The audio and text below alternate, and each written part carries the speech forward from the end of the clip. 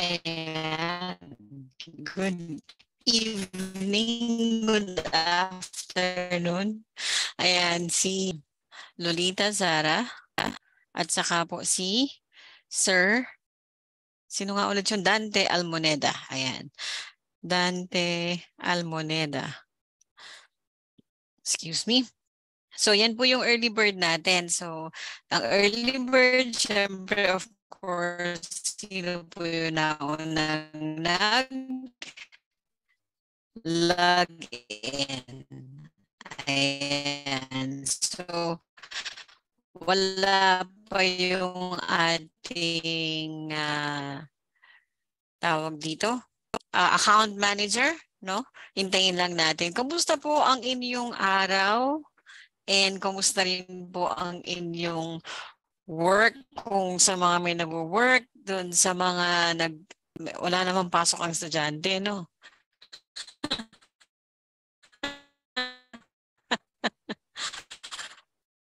Ah, teka, medyo nagkakaproblema yata sa pag-login yung account manager natin. Ah, uh, wait lang po natin siya. Ayan, si Sir, si Pastor Shem nakalagin na. Thank you po. Ayan, so napaka-importante na pag-uusapan natin tonight. So I hope you guys eh, mga busog at uh, nakapagpahinga. ako nag-snacks po ako konti, no? Kasi kailangan po natin yung kasi two hours tayo guys mag-uusap ngayon or mag-aaral. So ang napaka-importante ng pag-aaralan natin, in fact,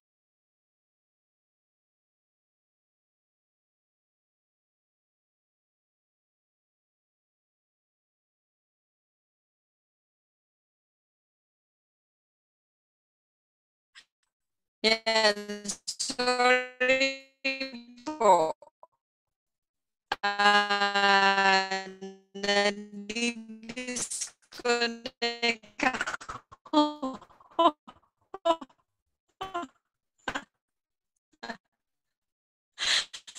sorry. Ayan, okay na po kayo. Buti na lang si Pastor Shem was already uh, promoted as panelist. Ayan. Si Ma'am Kathleen still uh, still hindi visible as panelist. Hello? Parang hindi ko po nakikita yung panelist natin, no? Wait lang po ha, medyo nagkakaproblema tayo sa internet.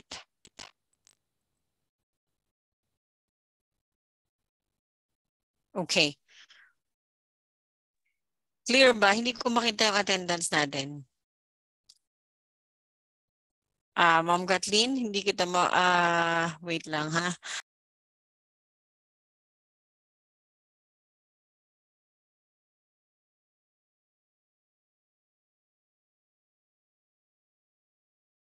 Mukhang nag-join po si Ma'am Kathleen as regular attendee.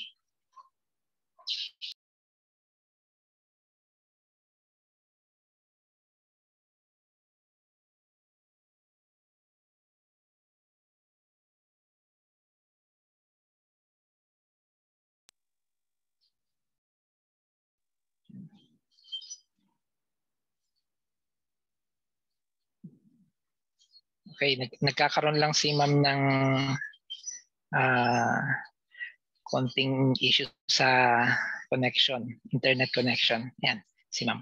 Ayan. Sorry po. Talaga.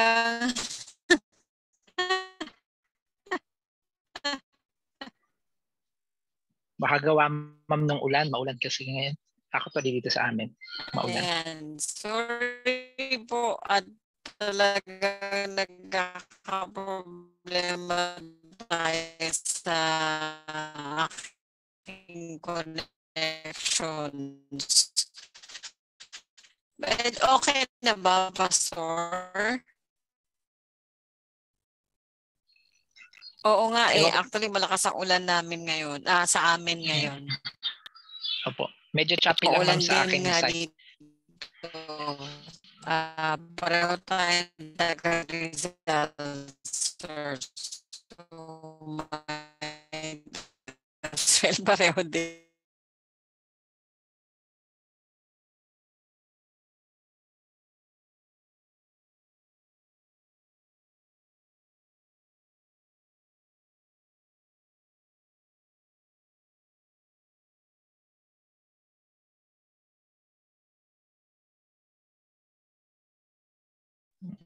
Oo nga, Sir Milesio.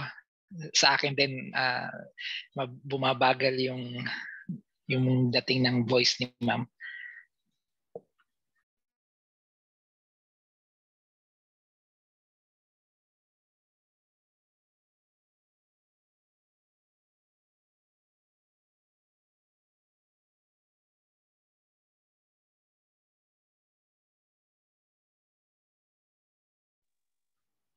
Ayun, ma'am. Ma'am, ma'am, ma'am Sally, kung naririnig mo po at parang tatlo na kaming nag-confirm na yung dating nyo sa amin ay medyo may kabagalan ng voice.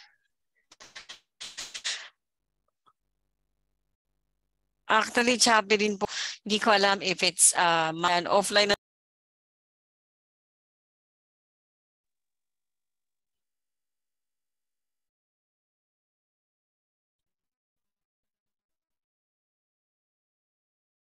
How about now? Ayan na naman ako. Nawawala talaga.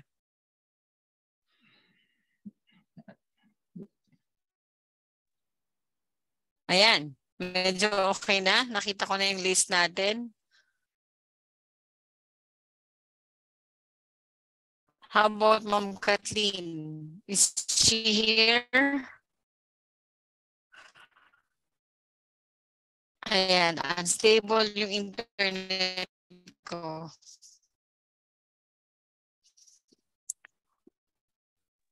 I'm Nakita ko- nakita ko, ma'am, kanina si Miss Kathleen sa attendees pa. issues, ha.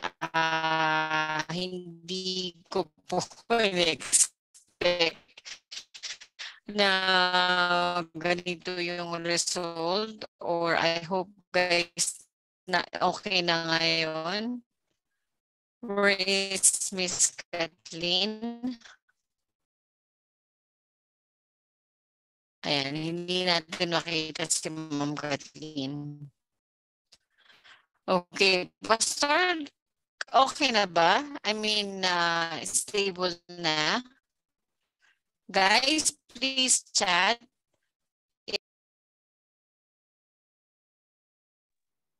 Sorry ma'am, hindi pa rin po.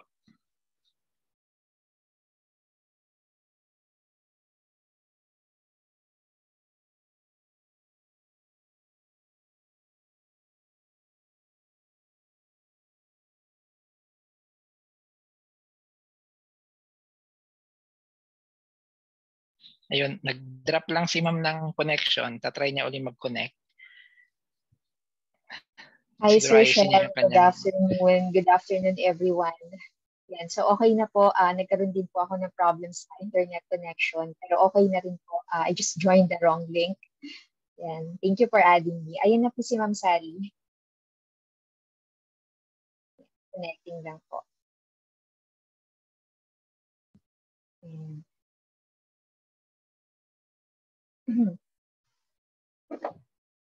Hi, ma'am. Good afternoon. Good evening.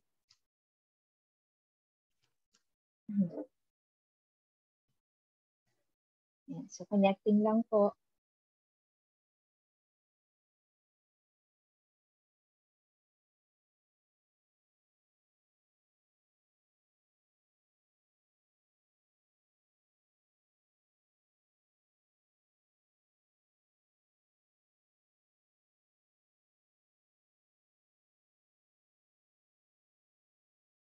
Hello?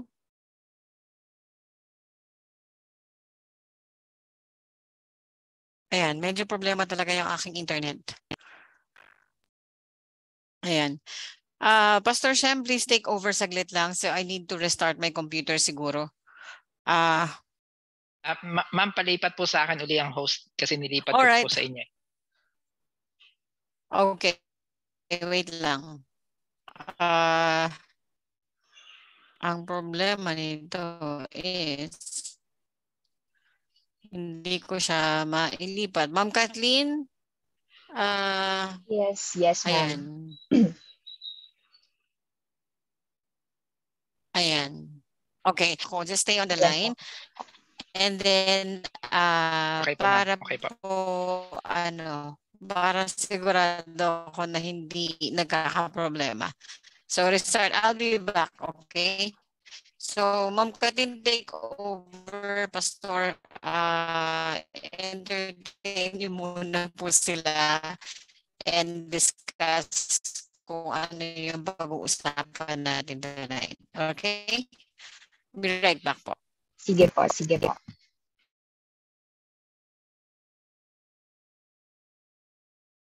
Okay.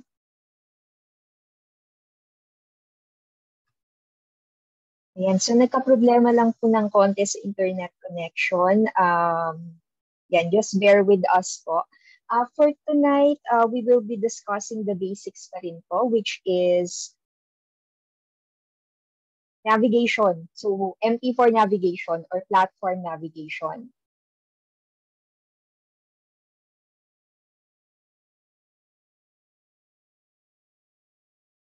Um, check lang po, ah naririnig niyo po ako? Clear po ba yung audio? Yes, ma'am. Clear naman. Okay, thank you, Sir Shem.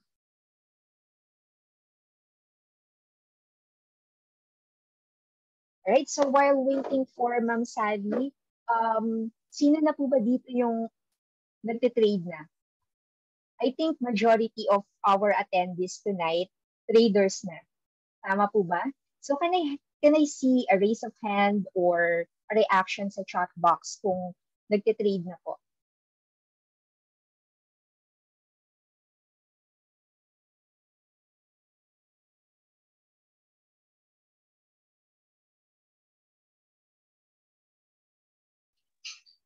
Hindi Si pa, Sir si Luis Sir. T. Yan si Sir Shem. For sure, at trader na siya. So, mentor na po natin si Sir Shem. No experience. Okay lang po yan. So, yun, sa pag-attend po ng webinar natin, um, matututunan nyo rin po eventually kung paano mag-trade. Make sure po to practice what you've learned, what you will learn. So I suggest you, you will you can open a demo account or a welcome account. So, no experience, okay po. So, nags, lahat naman po tayo nag-start dyan, eh, no experience. But eventually, matututunan nyo rin po. So, ako, uh, I've started din sa pag-attend ng mga webinars. So, that was 2016. So, ilang years na yun? Seven, seven years ba? Yeah, that was seven years ago when I've started uh, learning forex trading. So I was learning on my own kasi during that time, wala pa naman pong mga ganitong webinars. So, or hindi pa po ako aware sa mga mentoring or sa mga ganitong webinars. So I was learning on my own, going, going from one video to another online. And to be honest, napakahirap po talagang mag-aral on your own. Kasi ang dami pong videos eh. So sa sa internet po talagang information overload. So napakadami po natin pwedeng panuorin, basahin, and it took me a long time para mapag-aralan ng trading on my own. That's why very lucky po tayo na we have this kind of webinars na we can take advantage for free. Uh, the, ito po, dito po tayo matututo. So, practicing nyo lang po eventually, matututunan nyo rin. Okay, so yung sa certificate po, uh, sige sir, uh, I'll take down, I'll take note of it. Um, pa-PM po sa akin ng full name nyo and email address para po ma-follow up natin your certificate.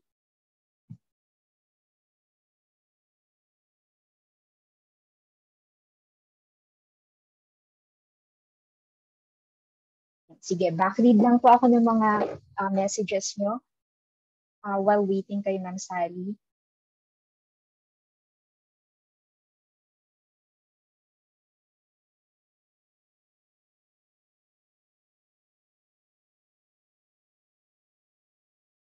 Yan. So pag, sa pag-navigate ng how to place a trade sa MetaTrade, sana ma-explain nyo sa amin ng tama ang buy entry and sell entry. So yes po, um, i-cover po natin yan tonight. And so i-discuss po siya ni Miss Sally. Alright, so eto na po si Miss Sally. Uh, hopefully okay na yung connection. Ayan, sorry okay guys. Ayan. I'm hoping, no, praying na okay na yung aking connections but I couldn't see yung attendees natin ha. Wait lang. Wait lang. Ayan, so kita ko na. We are 29, total of 32 including the panelists. Ayan, thank God. So okay na. Ayan, pasensya na guys, talagang malinaw na daw. Ayan, mas malinaw na than before. Thank you very much, Sir Ronald. Ayan, so guys, meron tayong, ayan, ulitin ko lang yung sinabi ko kanina. Meron tayong early bird, Ma'am Kathleen. Ala, pasulat kasi nag-restart ako, no? Si Ma'am Lolita Zara at saka si Sir Dante. Dante Almoneda. Ayan, sila po yung ating early bird. So pag sinabing early bird guys, meron sila makukuhang corporate giveaways from Tickmail. Yehey! Ayan. Ayan, welcome po Ma'am Bilen, Sir Alvin. Ayan ang ating mga IDs anito no. Uh, uh, they're attending no si Sir Luisito ayan andyan na si Sir Gideon hindi ko na iisa-isahin kasi biglang dumami ayan si Ma'am Leng thank you so much Ma'am Merceline, si Ma'am Mira, ayan po ay isang professor sa Infotech po. Si si Ayan, nakita ko dito, ayan, si Steven Ayan is our uh, ambassador ng TICMIL po. Uh, he won the Mr. and Miss Infotech. Ayan. Good evening po sa inyong lahat. Ayan. So, guys, katulad ng sinabi ko, ang pag-aaralan natin ngayon is MT4 or yung platform kung saan ginagamit para mag-trade. So, nung last uh, nare-receive yung words. Opo, wala pa po tayong sinesend. Actually, kaka-receive lang natin ng link. So, Ma'am Katin will give me all the list ng email addresses na nag-request para po sa ating webinar, I mean, webinar last Monday para po may recording sila at ma-review din po. Actually, that's a good ano po, way para po continuous at maintindihan natin ng mas mabuti. Welcome din Sir Ron, uh, Sir Rico, ayan, sa ating uh, webinar for tonight. Sino pa ba? I, I really want to see yung ating mga masus masisipag na mga ano, mga IBs. Ayan. So, sino pa ba? Ayan. Anyway, so guys, kayo ba eh mga nag nag-snack katulad ng sabi ko kasi medyo ang pag-uusapan natin ngayon is talagang uh, magiging malaking part or magpi-play ng malaking part sa pagde-trade nyo and trading journey niyo that's why i i-discuss natin to. So, pag da-download, i-assist din kayo ni Ma'am Kathleen. Uh, punta lang kayo sa website, tickmail.com and then uh, dun po sa platforms, makikita nyo po yung MT4 or MT5. Sa, mari po sa MacBook or sa Windows, andyan po yung mga choices natin. Okay? So, we are 34. So, yung mga in-invite nyo, please check kung nakalagin na sila. Kasi pagka nag-start na po tayo, uh, medyo mahirap pong balikan kasi sobrang haba po ng pag-uusapan natin. So para po mas mabilis din tayong matapos, I suggest po na kung may questions, maybe siguro uh, latter part na lang. Or if Ma'am Kathleen can ano naman can accommodate yung mga questions niyo pwede naman po no? So ready na ba tayo guys? Mag-start na tayo. Teka muna yung aking platform na wala pa. Wait lang kasi nag-restart ako pati siya na restart I hope na hindi na ako maglalagin ng panibagong account ah ha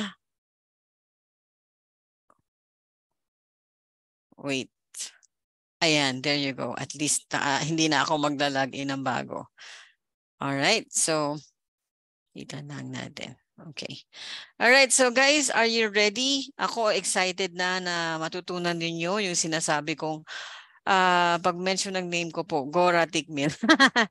si Sir Rico, ayan po. Alam mo po na i-encourage ako kay Sir Rico kasi uh, he just, he got scam when he started, uh, I'm not sure kung Forex pa yung pinag-investan uh, niya before. And then he tried na magkaroon ng, uh, na maging, ano, na maging, uh, ano po, persistent. And then he all uh, tried again, no, ilang beses.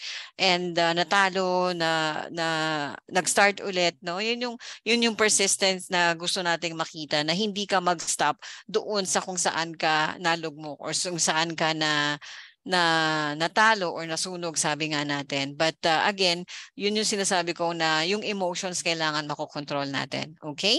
So guys, ayan na meron na akong uh, MT4. Siguro mag-start na tayo. Pero before that, at bago ko po malimutan, and uh, siguro po yun din yung isa sa difference namin no, ng Tick Meal. Before we start our webinar and we close the webinar, we always start and uh, our uh, this webinar with a prayer. We do understand and we respect your faith faith, your organizations, and your religion. But for us, please do allow us to pray and uh, big, uh, give ano po, uh, respect doon sa ating uh, pag-aaral ngayon. So Pastor Shem, please do the honor. Sige po ma'am. Uh, let's pray. Heavenly Father, thank you for tonight. Thank you for the opportunity to learn. Thank you, Lord, sa um, knowledge na i-impart ni Ma'am Sally. Patuloy naming dalangin, Lord, ang aming mga internet connection, especially kay Ma'am Sally, Panginoon, ay maging continuous at walang, walang mga distraction, Panginoon. Holy Spirit, bigyan mo kami ng wisdom, maunawaan namin ang mga ituturo at ito ay talagang magamit namin para sa mga purposes namin kung bakit kami uh, nag-i-involve Panginoon sa forex trading at Nawa Lord, ang tikmil ay maging daan upang ang iyong pagpapala sa amin ay ma-realize namin na mula sa iyo ang lahat ng ito. Maraming salamat Panginoon. Ito po ang aming pagpupuri sa tanging pangalan ng aming Panginoong Jesus. Amen. Amen. Amen. Ayan, thank you. Guys, uh, mag-start na tayo ngayon. So I will share my screen and I will also close yung aking webcam no or video para po mas mabilis yung connections natin. So Uh, Mag-share po ako ng screen. Ito po yung ating sinasabing MT4. Can anyone see yung ating uh, ano ngayon? Uh, tawag dito? MT4. yung platform guys. Ayan, kita. Ayan. So, guys, pasensya na medyo parang ano ako, uh, dun sa nangyaring disconnection sa napakarami. Medyo parang na ano ako na overwhelmed ako sa disconnections. But anyway, we are going to discuss na. So start na tayo guys. Sabi ko nga ituturo natin yung from here up to here. Can you see guys the mouse kung nasaan yung cursor natin? Nakikita yung mouse? All right. Okay. So we start na. Okay. We are going to uh, have divisions or uh, magkakaroon tayo ng discussion dito sa MT4 katulad ng sanabi ko. No? Ang MT4 guys is galing po sa MetaQuotes. Ang MetaQuotes Corporation, sila po ang may-ari ng MetaTrader 4. Galing po yan ng Russia. Ang may-ari po ng MetaQuotes is Russia para po mabigyan kayo ng idea. No? Pag sinabing Meta, uh, MetaQuotes, uh, sila po yung may-ari ng MT5. Ano ba yung MT5? MetaTrader 4 at MetaTrader 5. Ito po ang universal platform. Ibig sabihin, ito po yung commonly used ng mga nagte-trade. Actually, uh, sa stocks and uh, crypto, uh, I'm not sure if they're going, uh, they're using this as well. Pero uh, ang alam ko crypto they have their own ano po platform. But definitely yung ibang broker, meron po silang crypto and they're still using MT4 just like Tickmill. Meron po kaming MT, uh, crypto na tine-trade and we are also using MT4 and MT5. Okay?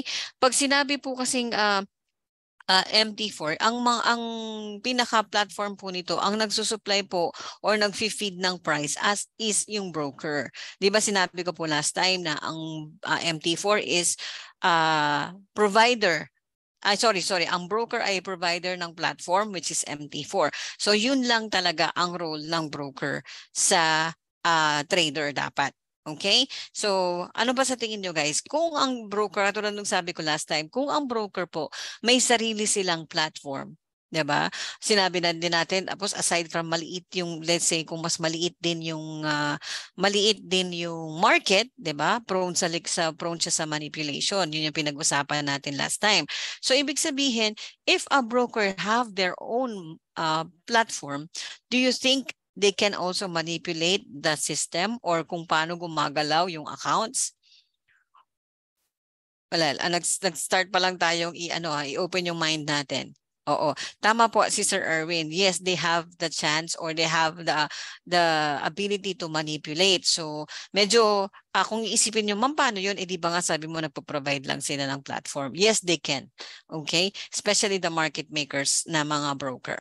All right? Pero again, sabi ko nga hindi lahat. That's why better pa rin we use itong MT4 kasi third party. Wala silang access to manipulate dapat talaga.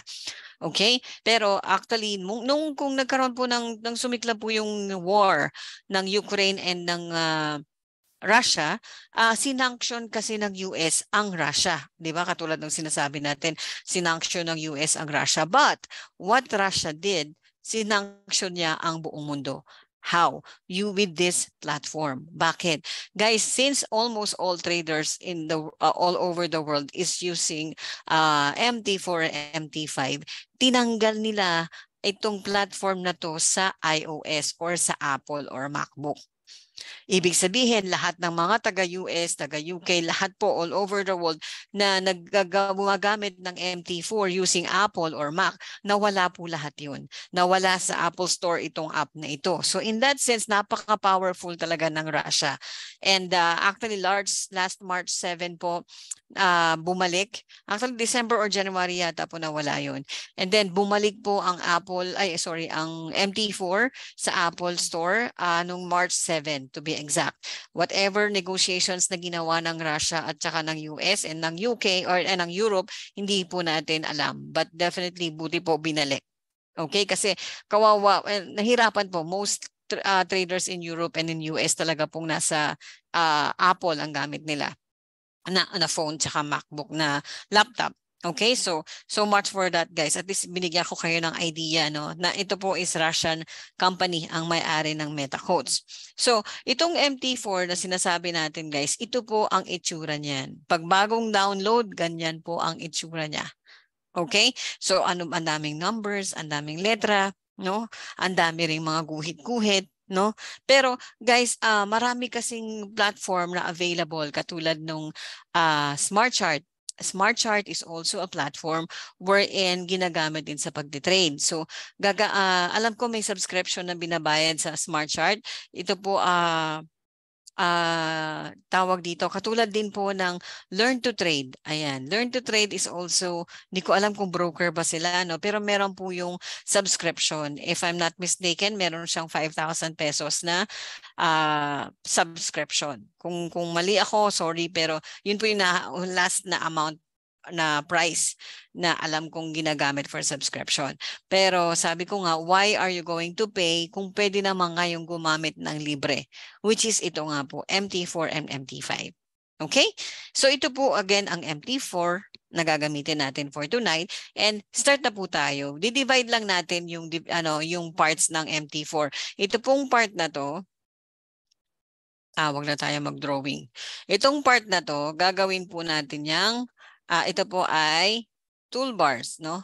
Ito pong toolbars na to, ay ito po yung upper toolbar. Itong first first row na to. Then yung second and third, gagawin po natin, tatawagin natin middle toolbar. And then ito pong lower toolbar. Okay? Then ito po yung chart box natin. Ayan, yung chart na yan. Then ito po yung market watch. Ito yung navigator. Ayan po. And ito po ang terminal. Lahat po yan ay pag-uusapan natin ngayon. Pinakamahaba po itong taas na to. Okay, so ready na po ba kayo? Ready na po ba? O ready, ready na? Ayan, so nakikinig pa ba tayo? O yan, go daw, go, sabi ni Sir Ronzald at saka ni Ma'am Lolita. Opo. Okay? So guys, ito yan. Itong nasa taas o pinakamataas na toolbar, ito po ang nakikita ninyo is logo. Logo po yan ng company or ng broker. For now, this is Tickmill. That's why ito po ang logo ng Tickmill. And the second one is the account number po. Ito po ay, kung live account po yan, nakalagay po yung account number na live account. Then ito pong Tickmill Demo UK, ito po yung server no? Diyan susunod na kalagay diyan kung anong server kayo, kung kung Tickmill Live 1, 2, 3 and so on and so forth. Then of course nakalagay kung demo account, nakalagay diyan live account. All right? Then second of course pangalan ng company. Tickmill Limited. And ito pong last na to is yung instrument. Yan yung Euro USD and H4. Pag sinabing H4, yan po yung time frame. Ililipat ko po sa 1 ha. H1, ayan, so nagbago. So ibig sabihin, ito po yung time frame. Again, Euro USD is the instrument or the currency na tinitrade ninyo sa chart na meron tayo ngayon sa, na sa harap ninyo. Then company name, then what kind of account, if is it live or demo, then the server, the account number, if it's live or demo account for now, demo account po tayo, and the logo. Okay, so mali, mabilis ko pong dinescribe kasi madali naman pong intindihin. Alright, so go na tayo for the second level or ating middle tool, toolbar. Dalawa, uh, may, dalawa po kasi yan, eh, no? So punta tayo sa file. Ano bang makikita nyo sa file? Of course, ayan po, marami po yan. Pero yung importante lang yung i-discuss natin. Okay? So, ngayon, itong uh, new chart, pag sinabing new chart, guys, kiklik ko ha, Guys, sabihin nyo kung medyo mabilis kasi talagang minamadali ko dahil medyo mahaba. Alright, so new chart. Ayan, pag sinabing new chart, guys, pipili kayo dyan kung ano ang gusto nyong i-trade. Sige, meron tayo. Ah, sige, mag-open tayo ng yung medyo wala dun sa ating sa baba. Ah, mag-open tayo ng gold. Ayan. Ayan. So, yan na po ang dinagdag natin. No? So, pag every time na mag-click kayo ng new chart, lalabas po yan dito. Okay? So, mabilis lang po ano, new chart. Sunod, pag sinabing open offline, pag kinlik nyo yung open offline, guys, nakikita nyo yung chart, guys? Nakikita nyo, open offline? Walang sumasagot. Nakikita nyo? Okay. So, ito po yung mga uh, accounts kasi. Yung open offline, yan po yung accounts na meron tayo or yan yung nakikita nyo history data. 'di ba? Hindi po 'yan masyadong actually ginagamit, no? Then open deleted offline, ah, ah sorry, open deleted. Ito po yung mga dinelete niyo na mga chart. Halimbawa, nag, uh, meron na kayong kinlows, ayan, pero may, may nagawa na kayong mga drawings dyan or analysis, dyan po nakalagay sa open deleted. Pwede nyo po yung buksan pag na-delete niyo Provided, guys, uh, na na-activate ninyo yung isang uh, isang uh, option doon under sa tools, yung open deleted, uh, I mean, save yung open deleted. No? Makikita natin yan mamaya. Pero hindi pa yan, guys, hindi yan masyadong ginagamit actually. Pero in case na marami kayo nagagawa, sanay na sanay na kayo, and then nagdi-delete kayo ng mga files ninyo, and then gusto nyo ulit buksan, ayan na po. Okay? So, Okay na tayo dyan, no? Then next is yung profile. Yung profile, guys, katulad doon sabi ko, meron kayong magagawa na mga uh, account ninyo na gusto nyo, favorite ninyo, gagawa kayo ng mga mga charts na gagamitin nyo in the future, tapos gusto nyo buksan sa ibang laptop. Meron, pwede nyo po yan gawin dito yung profile, lalagyan nyo. Yung kanina actually gumawa ako no, habang nagre-review po ako, gumawa po ako ng account. So lumalabas po dyan yung mga ginawa ko. So, ibig sabihin, yung profile or yung sarili nyong na-chart na nagawa, pwede nyo rin pong i-save. Save as nyo lang. Then, if lalagyan nyo ng name, of course, then gagamitin nyo po. And you can get that, guys, dito sa Open Data folder. Once I click this, mararoute tayo sa isang, ayan, nakikita nyo guys yung screen? Nakikita nyo ba yung uh, nandyan po yung uh, ah, MQL4? Nakikita nyo po? Hindi. Walang sumasagot. Nakikita niyo po ba? Wala. Meron daw opo. Merong wala. Ano ba talaga? Nakikita niyo po, Ma'am Kathleen, nakikita ba yung MQL4? Yes, Pastor? yes, nakikita. Okay. So, nakikita daw yung MQL4. Pagka kindik po yung MQL4... Ay, hindi, hindi ko po nakikita, ma'am. Ah, okay. So, sige. Mag-share tayo ng screen ulit. Yan yung sinasabi ko kanina pa. Eh, bakit hindi makita? Uh, all right. So yan, nakikita ng MQ ang ano, expert files indi include indicators. Ayan, nakikita na? Yes po. All right. Yes, so dun sa open da- sa open data folder tapos makiklik niyo yung MQL4, pag kinlik niyo po ulit 'yon, dito na po lalabas 'yan. Pagka lumabas po 'yan, pati indicators makikita niyo. Diyan i-click niyo lang indicators ano ba 'yon? 'Yun yung mga ginagamit po natin na tools para sa pag-analyze ng market. So kung gusto niyo pong gumamit ng indicator, click niyo lang po 'yon then i-paste niyo dito yung indicator ninyo. Okay? So gano actually 'yun po yung gamit nung M, uh, MQL4 at saka po ng uh, indicators list natin. So, balik tayo sa MT4. Open, nakikita na po yung MT4? Yes, ma'am. Yes, bumalik, Okay, bumalik na tayo. So, yun. And then, open an account. normally guys, ang open an account kasi ginagawa sa client area or dun sa portal ng broker. Sa case natin, yun po ang ginagawa natin. Doon tayo sa website, nagpupunta. And then, doon sa client area, if you're going to create an account or trading account, doon po tayo gagawa. And then, after na makagawa ng account, mapupunta po sa email ninyo or registered email ninyo yung laging account ninyo. So for now, since uh, lagi po tayo merong demo account, nakalagin na po tayo sa trade. Diyan nyo po ilalagay. From your email, login, then password, then na kung anong server, then login po. Yun lang po yung ginagawa natin sa login to trade account. Okay, so far guys, ito lang yung importante sa part na to. Malinaw pa ba tayo guys? Nagsisimula pa lang tayo ha? Okay, if my questions, ilagay nyo lang po yan. I know Ma'am Kathleen can answer. Okay, then next one guys. Ito po yung view. We call it, we call view as much as pinakamabilis. Eh sinasabi po natin yan na ano, panic button. Kasi guys, kapag ka na-click mo yung, uh, manbawa, ito, click natin to ha. Halimbawa, ayan, nawala yan. Nawala yan. Hala, saan na napunta? Ano naman gagawin natin? So, i-click mo lang yan nandito. Halimbawa, yung market watch, click mo lang dyan. O, di ba? Yung data window, ayan lang siya. Pero close muna natin yan. Then, yung navigator, ito lang siya. Papakita natin yan mamaya sa inyo. Ano bang mga usage ng mga kiniklik natin? So far, yan yung itsura ng uh, pag-click mo sa view. Then sa toolbars guys, hanggat maaari, para hindi na kayo magkaroon ng problema pa dito sa mga nandyan sa labas, always make sure na nakaklik ang toolbars and yung standard. Huwag nyo nang pakialaman yan. Kasi para mabilis ang buhay nyo. Kasi minsan, sa sobrang techy or sa sobrang uh, ano natin, trigger happy, napapakialaman natin yan, hindi natin alam kung paano ibabalik. Okay? So, para lang din makialaman nyo na ito yung function ng view. Yun lang po. Actually, andyan lahat. Kaya nga tawag dyan is panic button. Kapag ka nawala, check mo lang dyan, andyan agad. Okay? So far, malinaw po tayo. Move tayo sa insert. Ayan. Yung insert, guys, indicators. Pag kinlik mo siya indicators, ano ulit yung indicator? Sinabi ko kanina. Ano nga ulit yung indicator, guys? May nakakaalala? Parang wala.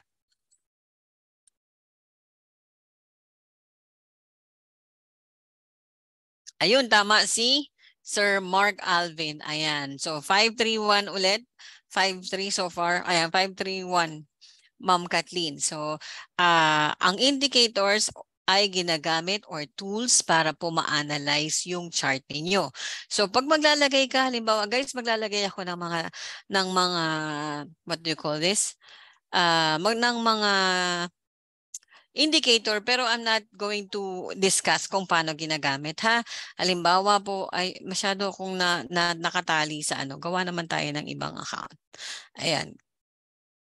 Uh, ayoko na may ibang kulay, yan lang muna. So, nakalagay po, let's say indicator. Pagka may gusto kayong ilagay, halimbawa gusto nyo moving average, pag nilagay nyo po yan dyan, andyan ang parameters, ang level, visualizations, andyan po yung mga uh, pwede mong, let's say, palitan mo ng kulay, yung mga indicators mo, gusto mong iba yung, yung style niya or kapalan yung linya, andyan din po yan. Okay?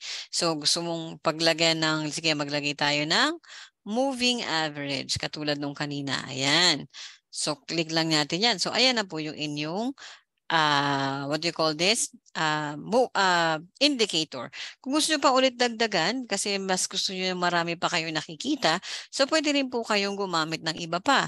Kung halimbawa stochastic naman, yan po, papalit, yung, yung colors, pwede nyo po palitan, levels, visualization, kung gusto nyo sa lahat ng time frame available, pwede rin po. Ayan po yung inyong indicator.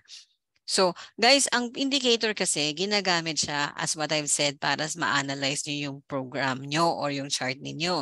And I always recommend na make it at least three indicators kung gagamit kayo, ha? Bakit naging three? Okay, simple lang, ma'am. Halimbawa, ang, ang indicator mo, katulad po nito, Teka, isasagad natin. Katulad po nito, ang indicator na ito is nagpareho silang nag nag ano, nag patingin sa tingin nyo is going down. Eh paano kung yung isa going up? So hindi ka na makapag-decide kung ano sa dalawa ang pipiliin ninyo. That's why I recommend to add another one. Halimbawa ang gusto mo is yung parabolic SAR. So yun ang gusto mong ilagay. Then katulad ng sinabi ko, parameters and visualizations kung saan mo gusto makita sa lahat ng time frame. Ayan, naka all time frames tayo. Or gusto nyo sa ganito lang, monthly, weekly. Ayan. Then parameters, change ng color and yung kapal. No, ayan. So yun, sa tingin nyo is kung up and down yung nag-isa sa dalawa and then dito sa, dito sa, lakyan natin ng konti. Ayan. Dito sa chart na to, makita natin na pareho, dalawa yung pababa, isa yung pataas, palimbawa ito yung uh, example, ito yung pataas. So ngayon, ang magiging decision mo is of course pababa since nag-majority na yung indicator.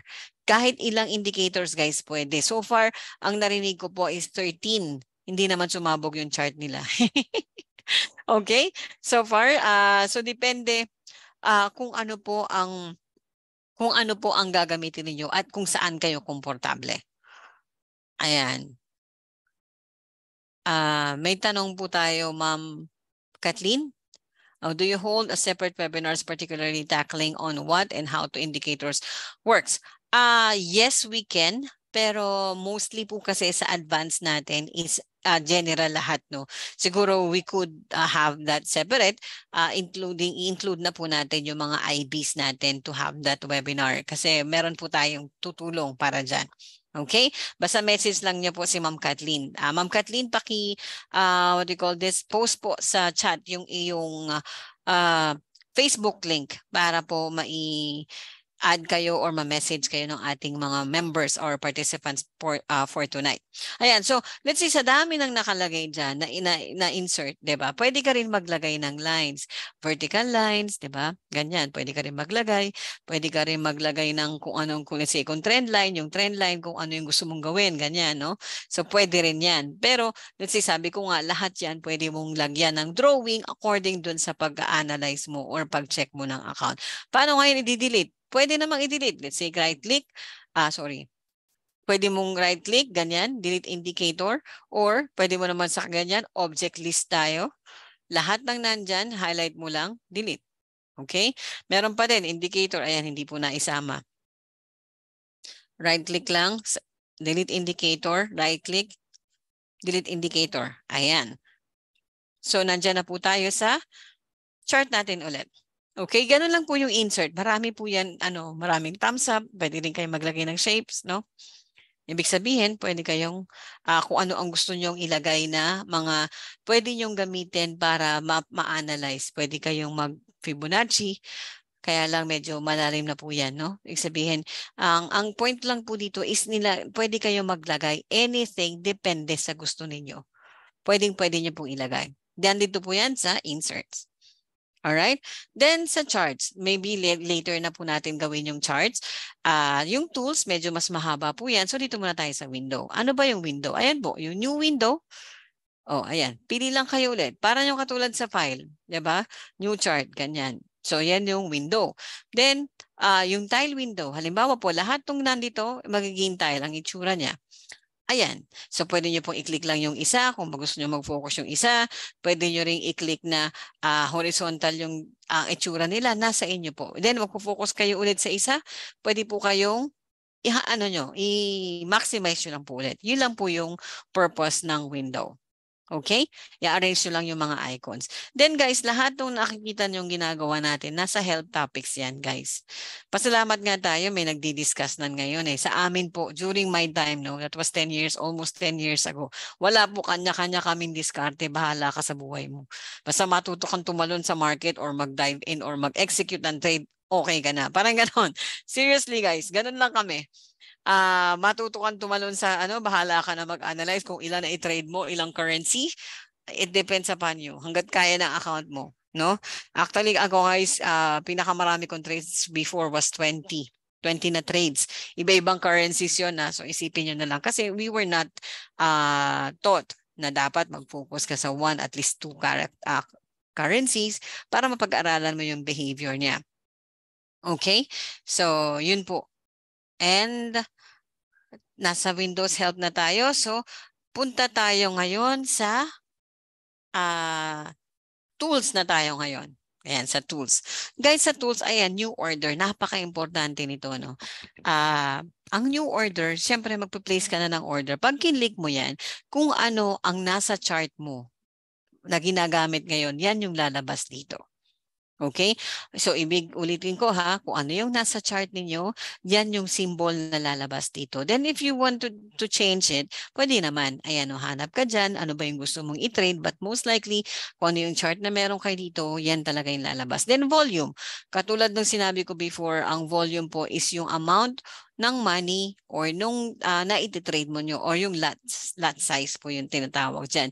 Then stop loss and take profit. Stop loss is the amount of money pero price po yung ilalagay natin ha. Price ng, ng isang currency or instrument na ginagamit ninyo or na ititrade ninyo na para malimitahan yung risk or i-stop mo by the by the word stop stop mo yung losses mo. Pag na, na-reach na yung price na ganyan at halimbawa mali yung pag-analyze nyo stop mo na siya. Automatic yon then on the other hand naman po let's say naglagay ka ng take profit na price ang nakalagay na price mo is uh, na-hit na niya ibig sabihin automatic profit po yon okay? So naintindihan po ba natin so far?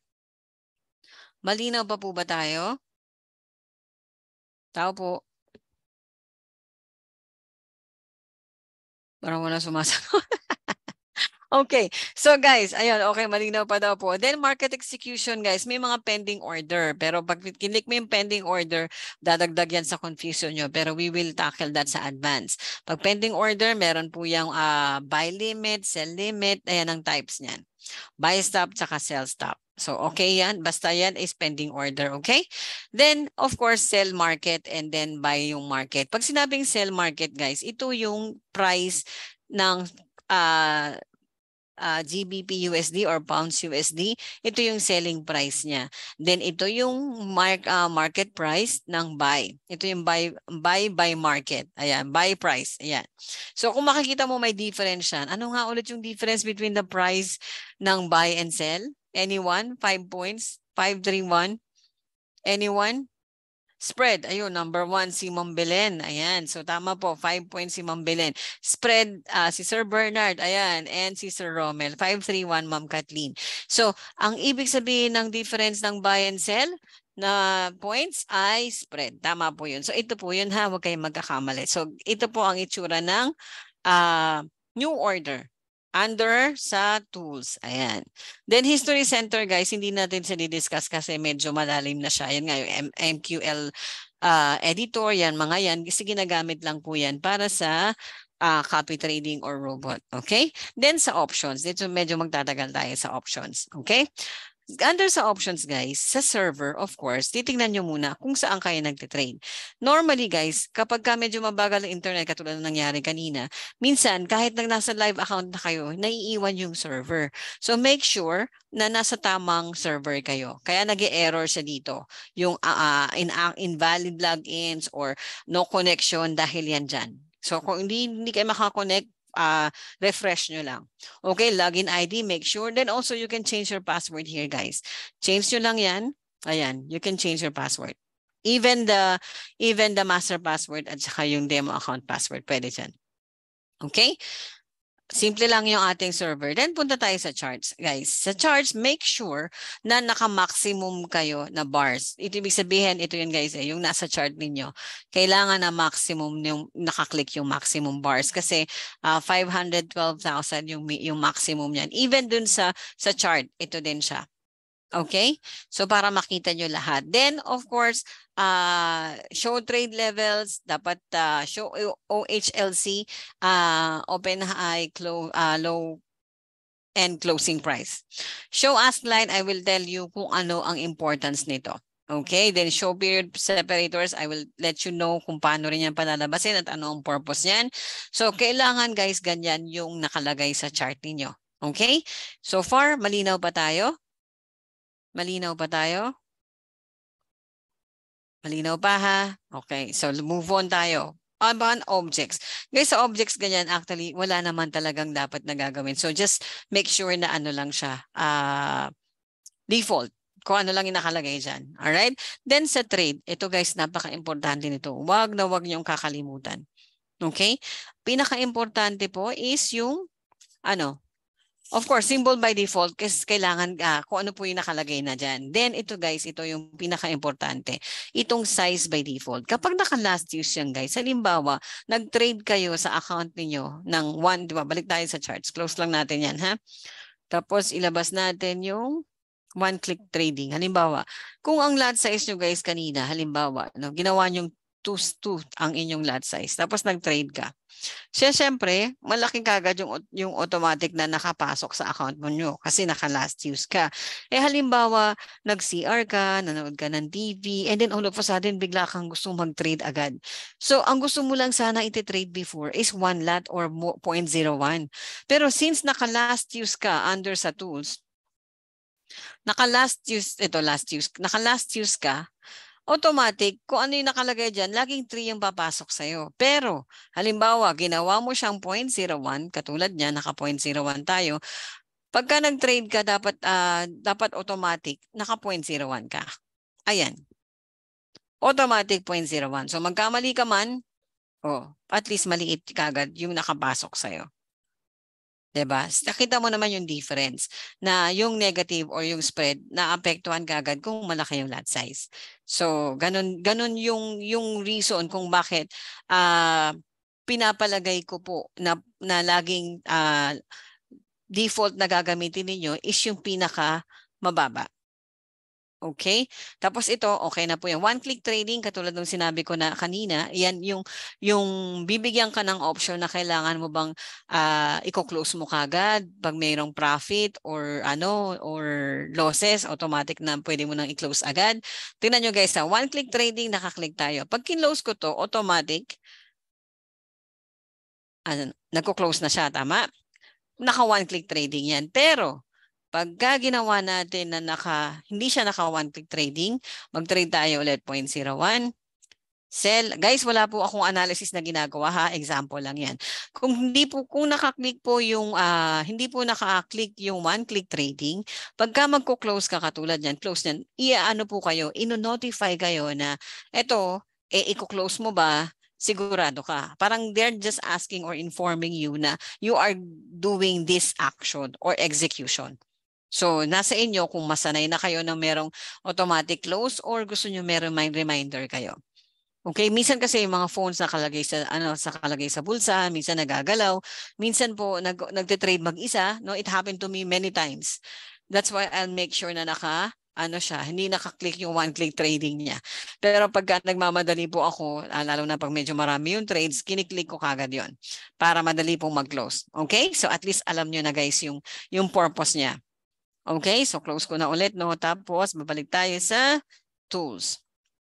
Click ko lang siya para sigurado. Ayan, meron din disclaimer yan na once na-click mo to, uh, whatever executions or trade execution na gagawin mo is automatic na ma-execute ng chart or ng MT4. Okay, accept mo lang. Okay, ayan na. Then, lipat na po tayo sa expert advisor. Eh, guys, since hindi tayo magdi-discuss ng EA or robot, hindi na po natin i-discuss. But most likely, guys, andito lang yung control or andito lang po yung uh, options na yan para hindi niya po malimutan. Then notification, if you would like to, let's say lagi kayo nasa MT4, gusto niyo yung mga emails ninyo, madiretso sa iPhone or sa inyong Android, pwede niyo pong gawin. Ilalagay niyo lang po kung paano yung setup. Maaral niyo naman po yun. Okay? Kung gusto niya lang naman. Then email, eh, ganun din po. If you would like to uh, receive an email, since lagi kayong nandito, nandito uh, pwede nyo rin po ilagay yung email address nyo dito. I-enable nyo lang yan. Tapos pwede nyo po ilagay yung ano nyo, email ad ninyo. Okay? Then FTP, ganun din po. Since hindi naman natin i-discuss yung uh, uh, mga EA and robots, so eh, skip lang po natin ito. Okay? Then events, uh, this is just ano, uh, an, uh, an another information. So far, hindi naman po natin nagagamit. Then community, ito po is MQL5, ano po ito, account. Uh, i-discuss po natin yan later. Okay?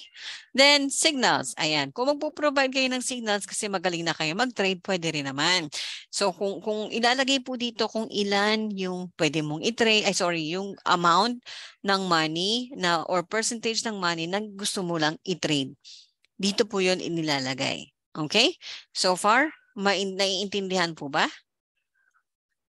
So far, nakukuha po ba natin? Ayan, ang sarap mag-trade, no? ang dami nating pag-aaralan. Pero guys, napaka, napakaswerte nyo talaga. You are blessed kasi nga nadidiscuss at nagbibigay sa inyong info. Before talagang wala pong ganun. Alright? So, tapos na tayo sa tools. Malinaw pa po ba? May background ako. Hindi ko alam kung naririnig ninyo pero yung, yung aso ng kapitbahay maingay. Naririnig niyo ba guys? Ay sorry, naririnig. Naiintindihan po ba natin? Natawa naman ako doon. Naiintindihan natin. Okay, very good. So tapos na tayo dyan. Pupunta po tayo sa uh, magsa-charts na ba tayo? Uh, dito na lang tayo sa baba. So ito na rin yung charts later eh. So dito na lang tayo sa baba. So nasa second or middle bar na po tayo. Ito yung middle bar. So ang unang-unang icon nakikita nyo is, of course, is nasa taas. New chart. ba? Diba? Pag sinabing new chart, yan ang lalabas. Ito rin yun. So, pag nakita nyo guys na may separator, halimbawa, teka ha, ito hanggang dito, ibig sabihin ng dalawang yan, andito po siya sa file. May separator siya. ba? Diba? Oh, itong isa, anong nakalagay dito? Yung profile, which is as under ng file. So yun lang po, ibig sabihin, ibig, itong dalawang to is napaka-importante kaya po ginawan siya ng icon ng under ng file. So ito po, new new chart, then profile. Okay, that's under file. Ito pong, ito pong it, 1, 2, 3, 4, uh, strategy tester is lahat po yan is under sa view binigyan lang po tayo ng shortcut button. So kat, uh, katulad ng ginawa ko kanina, nagpunta pa tayo ng view kasi hindi pa alam tong second uh, middle bar na to. But definitely ito lang din po yun. Pag nawala si market watch, ibalik mo. Ayan. O si data window, balik mo. Ayan din. Tanggalin mo lang din po. Ayan. Then si navigator, ayan po siya. Alisin mo, then ibalik.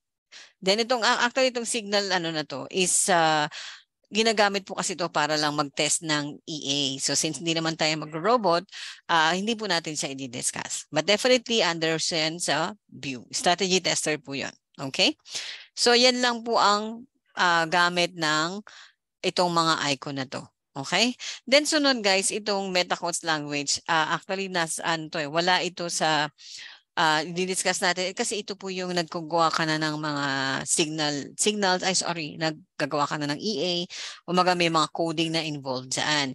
Then register a virtual server. Guys yung virtual server kasi guys ito yung sinasabi na pag meron ka ng uh, EA na pinapagana or si, or indicator na kailangan ng 24 hours. So nagre-register ka diyan para mag uh, mag-create ka ng virtual private server or VPS. May registration, may bayad. Although ibang company meron din naman ito. But so happen na nasa MQL4 ka, ay MQL5 or MetaTrader 4 ka, yan ang ginagamit nila. Sila na nag-o-offer, may amount po yan na maintindihan niyo po yan kung kayo po ay gagamit na ng robot na kailangan 24 hours gumagana ang inyong account. Okay? Then, uh, next ano po button is yung register a source. Kapag ka po ikaw ay signal provider na, uh, dito po yung lalabas. Dito po yung ating i-click para ikaw naman ang ikakopy nila yung trades mo ang ikakopy ng lahat ng inyong uh, followers. So, kumbaga signal provider ka. Yan po yung tinatawag natin. Kaya kung bakit merong register account as a source of trade signals. Kapag magaling na kayo mag-trade, pwede naman po kayo magpa-copy. In fact, we have that kind of campaign or program na we call it social trading. So, ibig sabihin, kinakopy po yung trades mo ng mga uh, iba pang trader na gusto na mas uh, habang nag-aaral sila, gusto nila kumikita sila, so sasabay sila sa trade mo. That's what we call social trading or copy trading po. Okay? Then auto trading guys, ito yung kiniklik kapag meron kang robot na pinapagana sa account niyo. Okay? So ngayon, pupunta na tayo sa chart. Ayan. Ito pong chart, itong natitira is about sa chart. Guys, malinaw pa ba?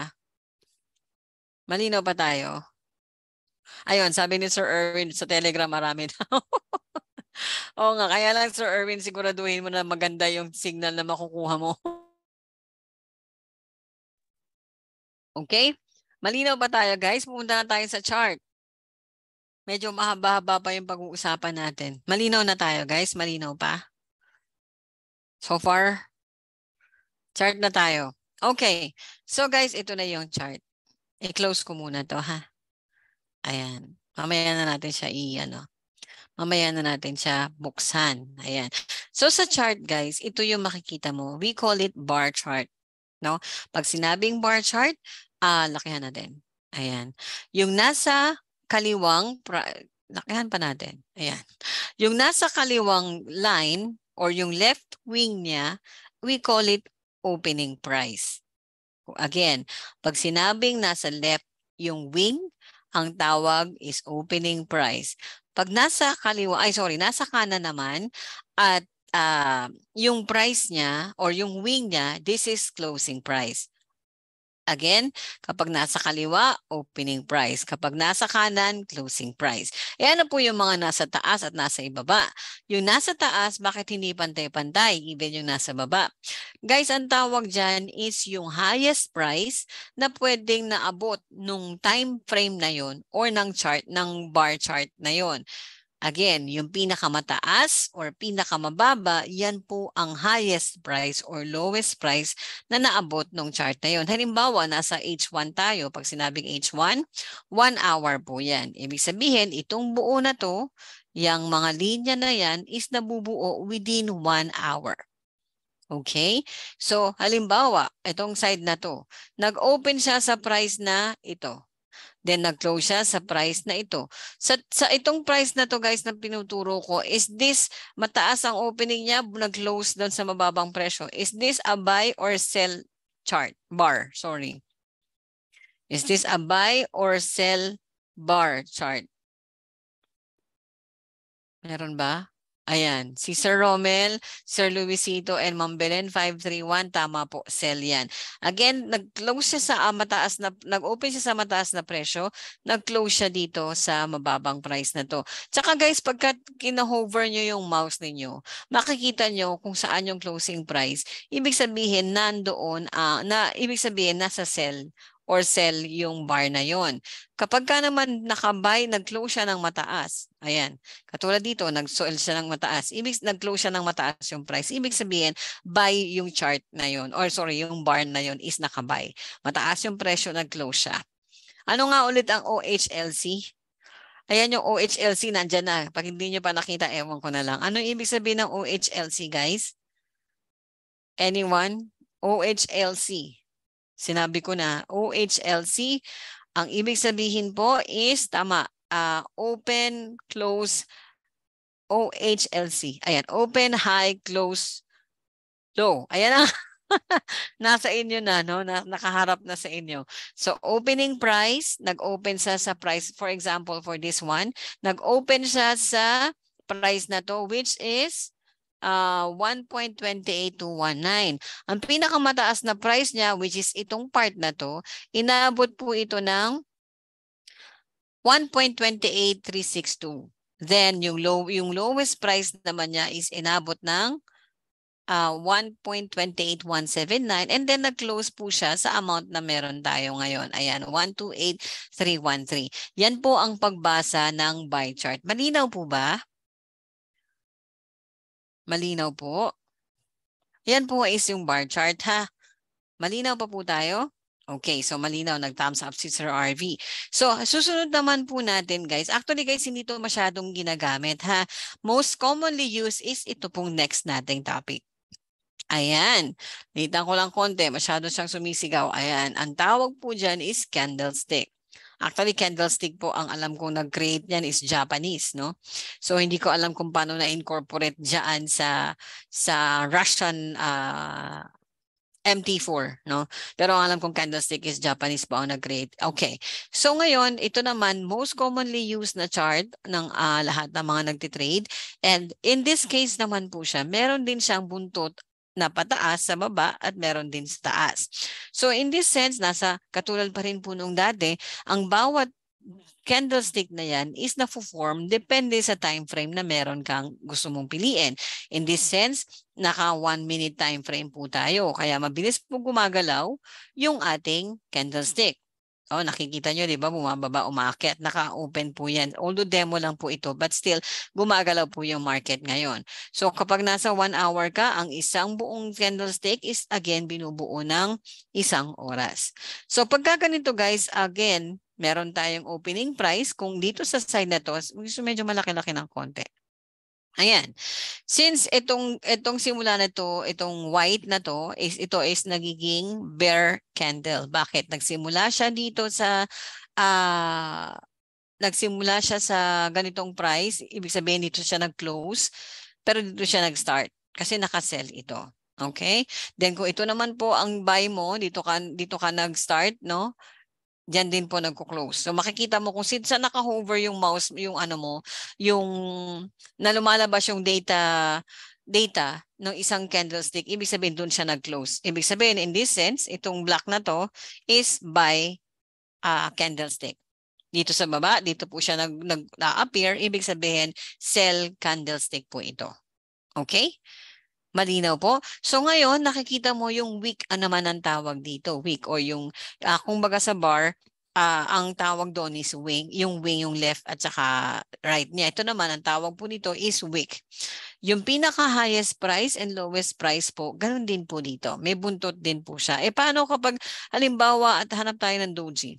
Ito, halos ang galaw niya pareho. Kung saan siya nag-open, halos doon din po siya nag-close. Ibig sabihin, ito talaga, ito yung best example.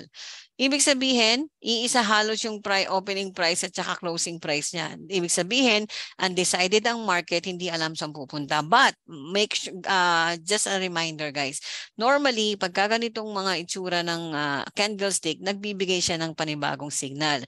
It's either bababa or tataas, pero it will give you a, a, a big move. Katulad dito, umakit lang siya ng konti, pero bumaba siya ng sobra.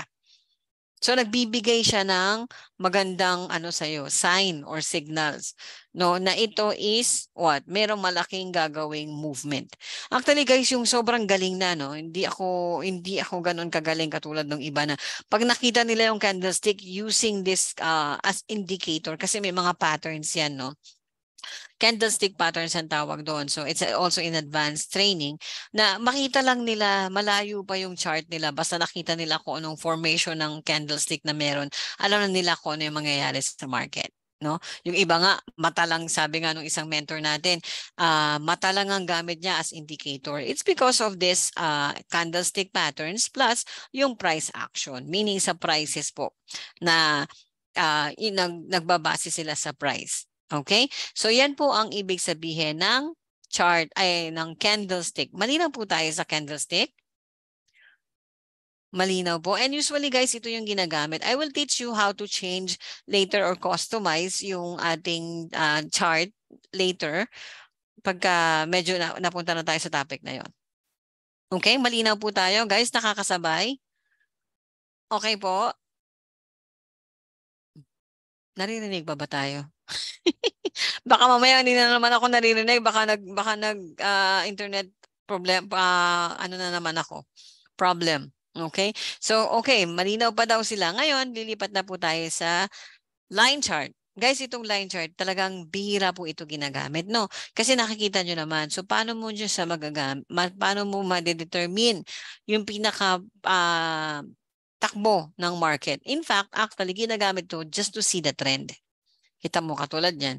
Anong trend yan? Pababa siya, pababa, yung baba, yung trend niya. Ba? Nakikita nyo. Tapos dito sa kabila, bigla na naman siyang tataas. So para lang trend setter to guys eh, kung tawagin nila. Madaling para mas mabilis makita kung anong trend ang nangyayari. But the, pro- the problem here guys, alam nyo kung ano? Hindi nakikita yung tamang uh, galaw on the price na ano ba talaga kasi kung ano ba talaga ang pinaka uh, takbo ng presyo. Pagka titingnan mo lang dito yung yung account na yan, hindi mo nakikita yung dulo. Tingnan mo pagka nilipat ko diyan, ayan oh. Hindi na nabasa kung ano yung dulo dito sa taas kasi nga naka-line tayo. Pero pagka naka-candlestick, kita mo lahat yung presyong dinaanan niya. So ginagamit lang talaga ang line chart guys is para lang makita yung trend. Okay? Pero mostly, again, ang ginagamit po natin is candlestick. So I I hope guys you will use also candlestick pag nag-aaral na kayo para in case na may magtanong sa atin or sa amin no na ito po ang chart namin Ma'am Sally, Ma'am Kathleen, uh, pastor, ito po yung itsura. Tapos naka-line chart kayo. Eh parang hindi tayo magkakaintindihan. So doon po tayo sa most commonly used at mas madaling maintindihan. Para sobrang mahirap na po intindihin yung market, huwag niyo nang pahirapan yung sarili niyo. Okay? Alright, so tapos na tayo sa trend line. Ito naman, it is a self-explanatory. Zoom in, zoom out. Ayan. Pinakamalaki, pinakamaliit. Ayan. So pag tumitingin po kayo ng market, mas sinasuggest ko po na mas maliit yung tingnan ninyo. Bakit? Para nakikita nyo po yung lahat ng galaw.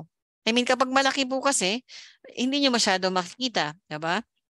Ayan medyo mag uh, mag-check na kayo ng uh, backtest kayo, ganyan na lang. So hindi po masyadong makikita. Unlike dito, malaki po yung coverage, lalo na kung naka D1 kayo or week or month kayo. Mas madali nyo makikita yung galaw. See? Ang, ang laki ng movement na yon especially this one. Oh. Monthly to guys, ah, monthly. So 2007 pa pala yun guys. Oh. Okay? So Okay na tayo sa zoom in and zoom out. Of course, ito yung window katulad nung in-expect natin kanina. Yan lang siya. Okay? So, binigyan lang kayo ng icon. Then this one guys, ito. Pagka naka-unclick po itong ganito, hindi, pwede nyo siyang i-back test. Yan po yon. Pero pag guys, kinlik nyo siya, kahit anong galaw nyo ganyan, mabalik po yan sa dati. So babalik ulit kayo, ayan, nasa dulo kayo ulit. Kahit ganyan-ganyan ninyo siya, bandang huli ibabalik kayo ng, ng ano, ibabalik kayo ng MT4 dun sa simula. So ito po, i-unclick ninyo kung magba-backtest kayo. Then this one, para since here dito, hindi mo na alam kung ano na susunod. That's why ipipindot mo lang to para ma-move lang siya. Ayan, yun lang po yung purpose niya. Okay? So para makita nyo, so pwede ka na mag-analyze ito. It is going up or going down. So depende no kung anong gagawin mong uh, ana, uh, drawings dyan sa kasunod na yan. Okay? Then ito guys, ito is indicators days din ito. Ito yung nandito kanina sa uh, insert. Ayan. Ito is just an indicator. Ayan din. Depende kung anong gusto mong gawin, kung saan mo. Kung pwede mo ditong gawin sa under sa insert or pwede rin po dito sa icon na to. It's still up to you kung ano mas mabilis sa'yo. Okay? And then this one is yung time frame po natin. Ayan. Kung ano, ito pong time frame is ito rin po yan. O, na-advance ko na ha. Ito rin po yun. Kung anong M1, 1 minute. Ayan. Dinescribe lang po niya dito. Yung M5, 15, 30, H1, 4, D1, W1, and MN, ito po yun. Ibig sabihin ng MN, monthly. Ibig sabihin ng W1, weekly. D1, daily. 4 hours, H4. So for now, nasa H1 po tayo, 1 hour po yon. Okay? And so on and so forth. Pare-pareho lang po yan. But again, hindi po tayo pinahirapan in some sort binigyan kayo ng icon. Okay? So halimbawa naman, ito, itong save template. Kapag ka po marami na kayong drawings and gusto nyo lahat ng MT4 nyo, iisa na yung kulay, iisa na yung uh, indicator na lumalabas, isi-save nyo lang siya. Save template. Halimbawa, katulad nung dati, gumawa po ako. Ano po? Yan ang ginawa ko kasi pinalitan ko na ng kulay. Okay? Yung iba naman, ginawa ko yan. Halos pareho lang pala siya.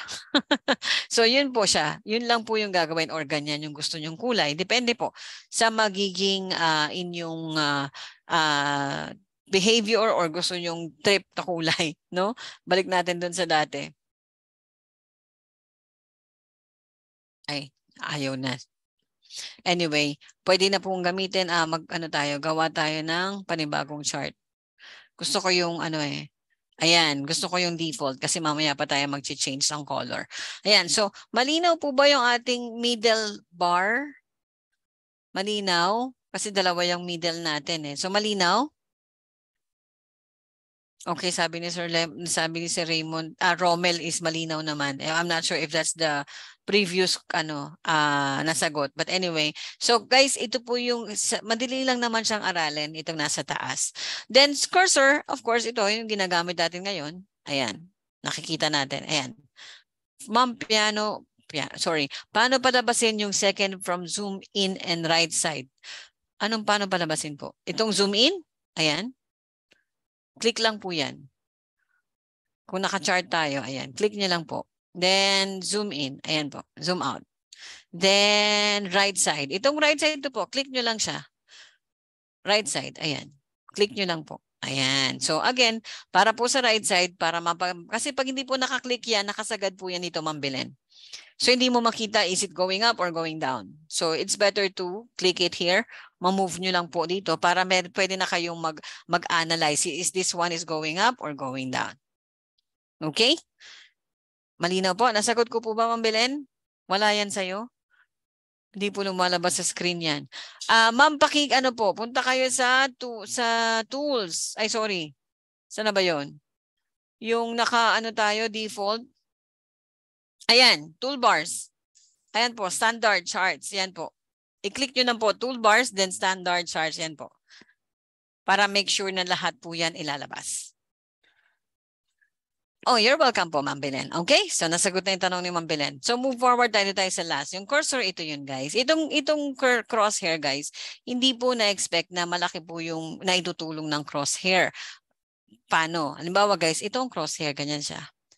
Check mo lang siya, i-grab mo yan. Ayan. Para malaman mo kung ano yung movement. Halimbawa, pinaka-lowest niya. Sige nga.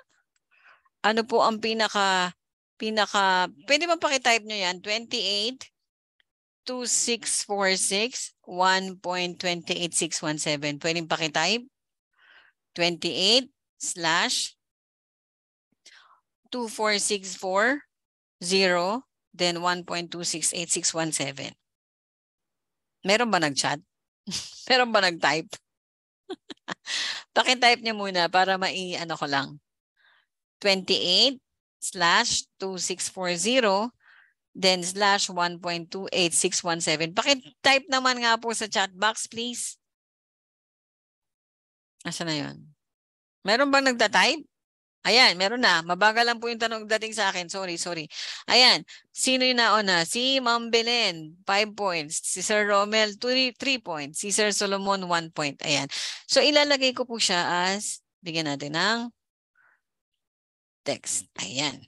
So, yung isa po is 28 nakalagay. Then 2640. Then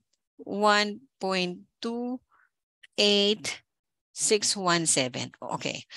Kulang ng 8. Ayan. Guys, itong 28 na ginawa ko kanina, ang ibig sabihin po niyan is yung kung nasa ano ba tayo H1, nasa 1 hour po to. Ibig sabihin, 1 hour yung uh, gamit natin. 28 hours po yun or 28 na candlestick yung ating tinalunan. Okay? Eh kung ang gamit po natin is uh, one lot and one lot po kasi at uh, nakapag naka one lot ka, yung one point or bawat galaw ng presyo is equivalent to $1. So in that sense, from if you trade on this account, close ko lang to guys ha. If you trade on this account, papunta dun sa kanina. So in that sense guys, kung $1 per one point, naka $2,640 ka kung nasabayan mo yung galaw na to. Imagine from here ha, papunta dito sa baba. So ibig sabihin nun guys, lan, hindi ko natanggal tong isa, is uh, umaabot po ng uh, 2,640 ang kikitain mo. Isn't that big enough? Kung halimbawa, within 28 hours, lampas lang yan ng isang, or, isang araw, guys. So, ibig sabihin, gan ganun ba kabilis kumita sa Forex? Of course. Imagine 26, uh, 2,640 in, one, in 20, more than one day. Kaya mo bang kitain yun in a regular job? Wala po. So, not almost 100,000 per day na ano ha? Per day na uh, kita. So, ibig sabihin, yung isang, yung price naman kanina, yung 1.2861, yun yung price na inabot na pagdating dito. So, yung uh, itong crosshair, malalaman mo kung pwede kang kumita at pwede kang matalo. In that sense, yung risk mo, malalaman. Paano? Simple lang po. Halimbawa, ito. Itong part na to, makikita mo, halimbawa ito, it's either nagagawa natin siya ng, uh, ano, gawa natin siya ng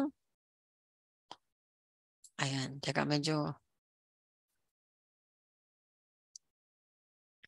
uh, lagyan natin siya ng guhit, no?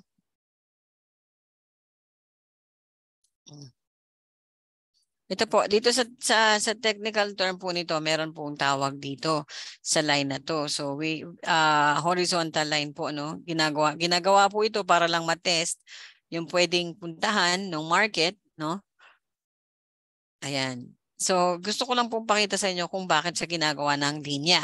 So, kung, kung paano yung sabi natin kanina, kung paano kikitain. Halimbawa ito, ito, mag, gusto mong mag-trade. Kung dito, pwede po siya umakyat papunta dito. So, ilan yan? Ilang candlestick yung dadaanan niya in 6 hours? Pwede siyang magkaroon ng points na ilan? 231. At what price? 1.28067.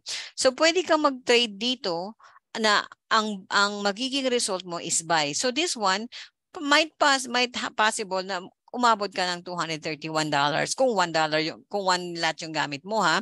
Pero kung halimbawa bumaba siya Halimbawa, yan, bumaba po siya ng ganito. So, mas malaki po yung price, di ba kanina 200 plus, 238 lang. So, makikita mo, ano yung mas malaking kita? Up ba or sell ba or magbabay ka? Or, halimbawa, pwede mo namang hintayin na lang na ma-break niya muna to bago ka mag-trade ng panibago. Halimbawa, dito, mag uh, umakyat siya.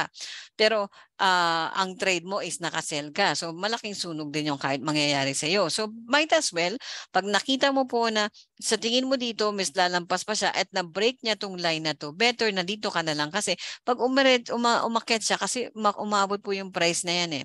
So ilan yung tinamaan niyang price. So medyo malaki-laki, no? Marami. So mas malaki yung, uh, anong tawag dito? Resistance. So yung resistance level na to maraming tinamaan. So ibig sabihin, possible na bumalik siya dito. Swerte na lang pag inabot mo pa tong line na to. Pero dito pa lang is okay na tayo, no? Dito naman, kung sa tingin mo, bababa siya, sige, okay lang, no? Pero mas maliit kasi yung chance niya. Again, depende sa, sa appetite niyo, sa risk appetite na meron kayo. But again, kapag ka nakita nyo na, pwede namang basagin na lang muna niya yung support. Pag sinabing support, guys, sa baba. Pag sinabing resistance, sa taas. So pagka pwede naman kayo maghintay, uh, gawin nyo na lang, then tsaka nyo kayo gumawa ng, ng analysis ulit. So, kaya napakalaking tulong nitong, uh, uh, what do you call this? Uh, crosshair sa pag-check ng risk management ninyo at saka ng profit ninyo. Okay? Malinaw po ba si crosshair? Okay? Close ko na muna itong ating mga uh, vertical lines ha. So yun po. Uh, ito na. Pupunta na tayo doon sa vertical. Sorry, horizontal pala yung kanina. Itong vertical guys, yan lang yan. Click, latag. Click, plot. Ayan. So, para lang makita yung date and time ng uh, particular candlestick na yon. Teka ha, kasi eh, nakikita ko tong ano eh, sharing, share, sharing na to eh. Teka lang ha. Ayan. So pagkakindik mo to guys, makikita mong may tutuldok or point point dun sa dulo. Pagka ganyan, makikik eh, pwede mong i-drag kahit saan, mamumove mo na. Halimbawa, gusto mo makita yung price nito, uh, para lang makita mo yung vertical line mo na na info, yan, vertical line properties. Ayan. Show, uh, show mo pa rin sa ibang mga uh, time frames, yung common. Ayan yung itsura, gusto mong palitan, pwede rin. Then parameters yan. Halimbawa, ito yung gusto mong time makita ng uh, 2023, gawin natin 2020, uh, July 20. O 22 na lang para mas malapit. Gawin mong 1 a.m. Ayan. Ayan, nilipat ka lang din niya. So yun yung makikita mo yung galaw. Ito yung ito yung particular uh, chart na uh, sorry, candlestick na yon. Papalitan mo lang. Okay? Pwede mo rin siyang i-move. Yan po yung purpose niyan. Okay? Ito po yung x-axis and then y. Okay? Para makita nyo lang po. So, paano nyo, let's say, i, i ano, i-delete. Ganun lang siya. Ganun lang yung purpose niyan actually. Pero malaki po yung tulong niya. Pag meron kayong gustong hanapin specific, uh, specific candle. Candlestick. Okay? Close mo ulit. Object list. Ayan. Click mo lang lahat yan, then delete. Isa-isa nga lang siya. Ayan. Delete all. Okay, guys? Or delete nyo lang diretso sa laptop. Okay? Malinaw pa tayo, guys? Malinaw pa tayo, guys? Yun yung vertical, ha? Vertical, vert, horizontal. Ano ba? Hor vertical line. Okay? Then horizontal, ito po. Yung ginamit ko kanina. Plot. Sinecheck nyo lang po, guys, kung ilan ang uh, pwede mong gamitin. Depende kung anong, depende guys sa may analysis na kasi yan kung ilan yung ginamit, kung ilan yung nadaan ng presyo, na pwede nyong gamiting basis.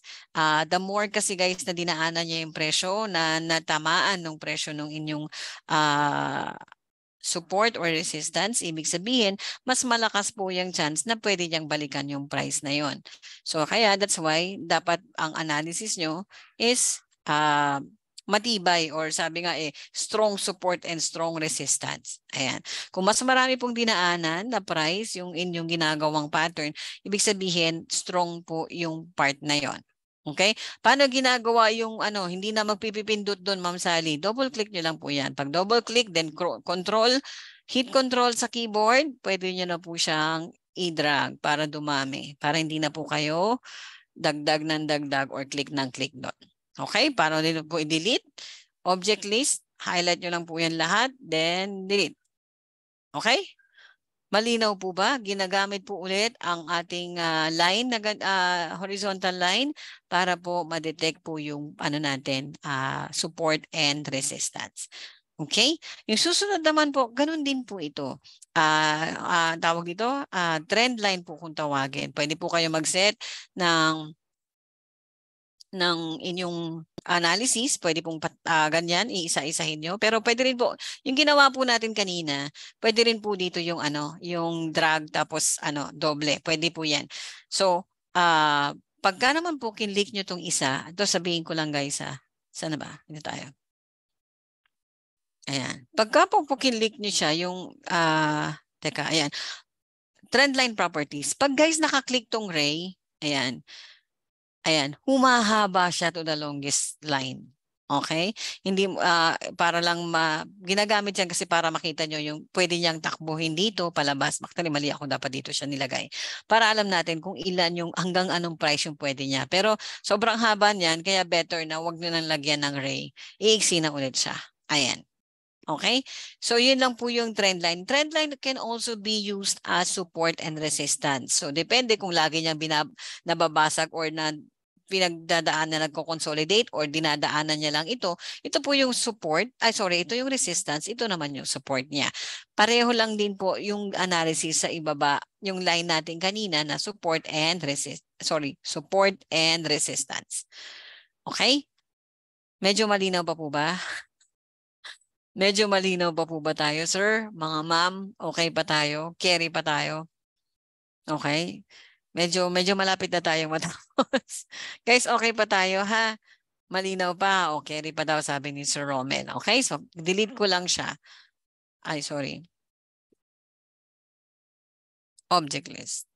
Delete lang natin siya. Ma'am, kailangan po pala laptop or desktop ang gamit. Actually, sir, yes. Uh, sa sa pag pag ano pag click na pag-aaral sa una pagpa-plot pwede po talaga laptop then monitoring pwede namang phone depende po sa inyo but I started kasi sa I mean I I used to use mobile phone pag nagte-trade po ako. So, meron po kasi, depende po, kanya-kanya po yan. Pero pag beginner, we suggest na we go or use uh, laptop or desktop. Okay?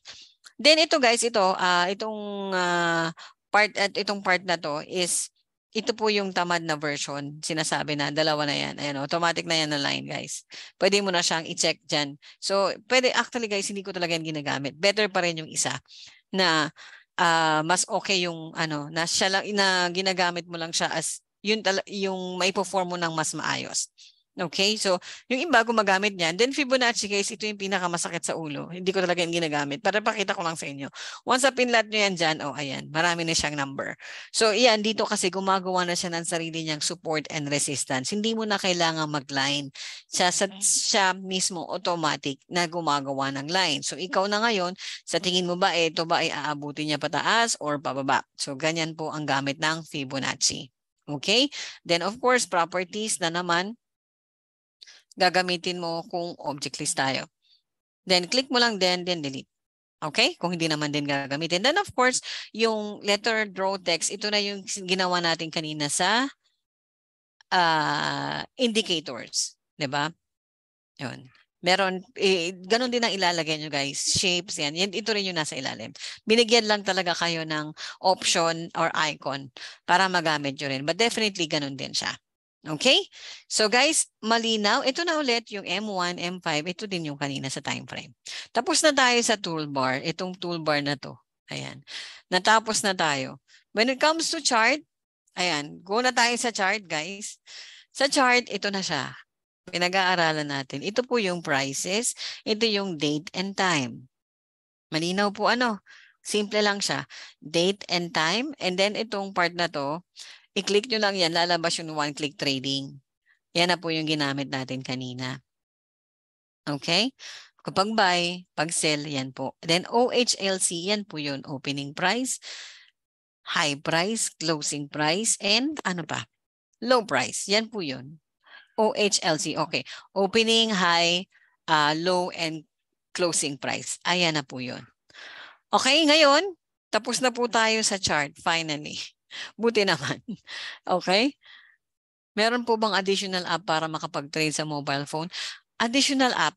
Ah, uh, Meron po MT4 lang, wala naman pong, meron pong dina-download yan. Hanap kung lahat si Android, pakihanap lang po yung uh, Play Store, then type mo po yung MetaTrader 4. Then sa MetaTrader 4 po, hanapin nyo lang po yung server, Tickmill ang hanapin nyo pag nasa Tickmill po kayo. Pero so far, wala naman pong ibang additional app na ikinakabit sa phone. Kasi kung ano po yung, let's say, nakapaglagay ka na ng indicator mo sa laptop, automatic magre-reflect naman po yun sa iyong mobile phone or or might as well hindi kailangan makapag hindi po ako makapag-trade sa mobile. Uh, Sir Luisito PM tayo. Hindi ko uh, para mas madali o kaya pwede rin si Ma'am Kathleen para ma-guide po kayo kung paano po makapag-trade sa phone. Kung Apple uh, okay po. So mamaya kung may time pa tayo I could pull up yung Apple Apple pa lang yung nagagawa ko, yung Apple na na na presentation paano mag-trade. Okay? Ipapakita ko po yung MT4 later sa Apple. All right? So, guys, tapos na tayo sa chart. Ngayon, ilalabas na natin si Market Watch. Ayan. So, ang Market Watch, guys, dyan nakalagay yung symbol. Ayan yung symbol or yung instrument na iti-trade natin. Kung ano po yung color coding yan, guys, it's it depends on the what? on the broker. Meron po silang color coding na nilalagay, depende po dun sa kanilang interpretation. Okay?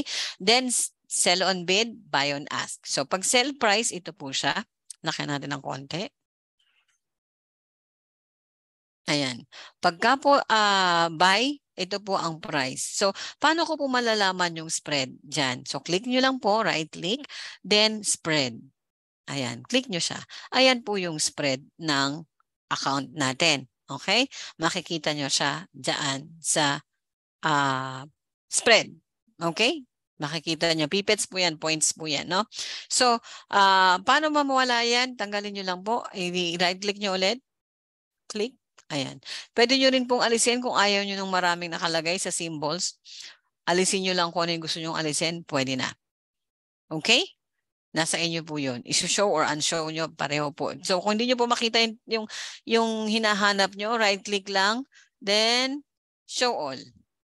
Okay? Para sigurado makikita nyo. Yung iba talaga nahihirapan sila. Ma'am, sa new order ba na buy at sell price in dollar ba or pips ang nag-uma-appear? Uh, price in dollar, yung buy and sell sa panagtitrade po, ano po yan? Uh, kung ano po yung, uh, points po kasi yan, ma'am, hindi po yan dollar.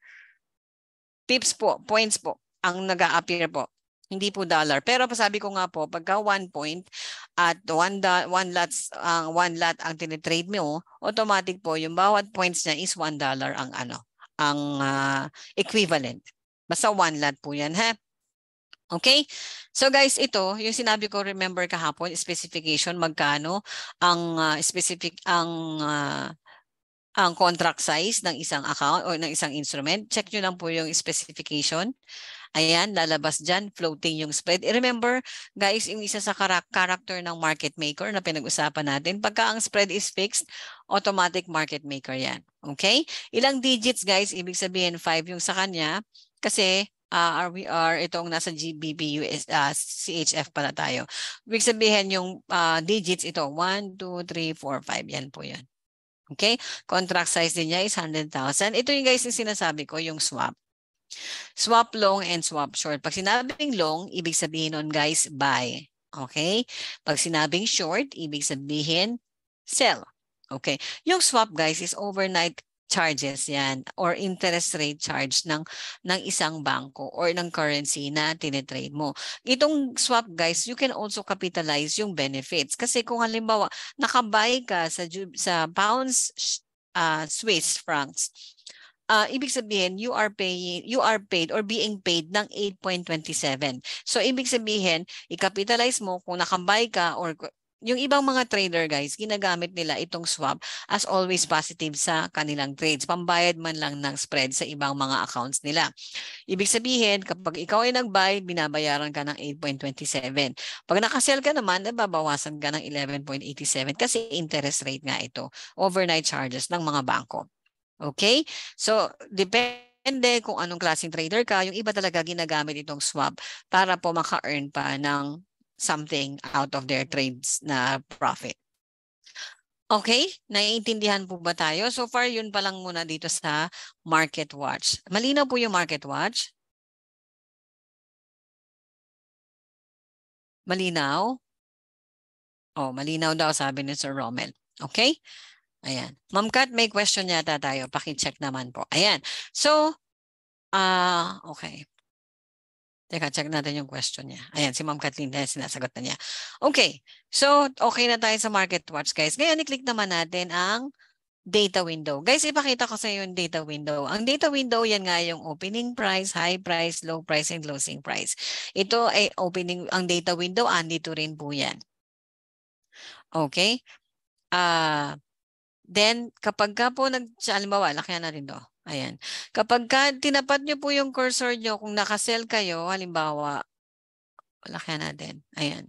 Di po ba, kung saan po lalabas yung data window, ibig sabihin nakasell, ayan din po yung nakalagay dyan. Nakikita? Tama po, di ba? Kung ano yung laman nito, yun din po yung nasa data window. Ganun po siya. And at the same time, guys, andito rin siya. Ito, nakikita nyo itong ilalim na to, bottom part nito, guys. Nakikita nyo? Ito po yung data window. Yan din yon.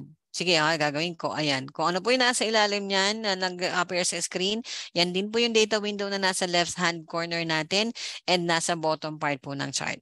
Okay? Ma'am, paano gamitin yung swap sa pag-trade ng buy? Automatic yan, sir. Pagka nag-buy ka sa ganitong instrument tapos naka-positive yung swap niya, automatic may additional ka po. Dinabayaran ka pa doon sa particular trade mo na yon. Okay, pero hindi po talaga ginagamit. Uh, ginagamit sa at one of the advantage po or benefit kapag ka nag-buy ka. Okay, so guys, malinaw na yung data window natin. Madali lang naman siyang tingnan, no? Madali lang din hanapin. Okay?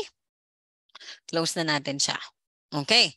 Then, punta na po tayo sa uh, Navigator. Ayan. So Navigator guys, makikita nyo of course yung Tickmill MT4. Yan po yung company. Then yung MT4 yung platform. Lahat po ng accounts ninyo magre-reflect po yan dito. Okay? Then since naka-test po tayo, ito po yung account natin, pwede ka po mag-right click diyan, open an account but uh, on our on our ano po, on our part, again sa website po yan dapat inilalagay or sa client area po or sa portal. Then login, login to trade pag kinlik nyo po yan, ayan po yun. Okay? Uh, ilagay nyo lang po yung nakalagay na, na account number, password, then server, then save. Then click login. Automatic po para hindi na po kayo nalalog out. Ano? So ngayon, uh, dito po yung nakalagay lahat ng accounts niyo Sa indicator guys, ito rin siya. Ang kagandahan lang nito, sa indicator guys is madali nyo siyang, ang gagawin nyo lang naman is what?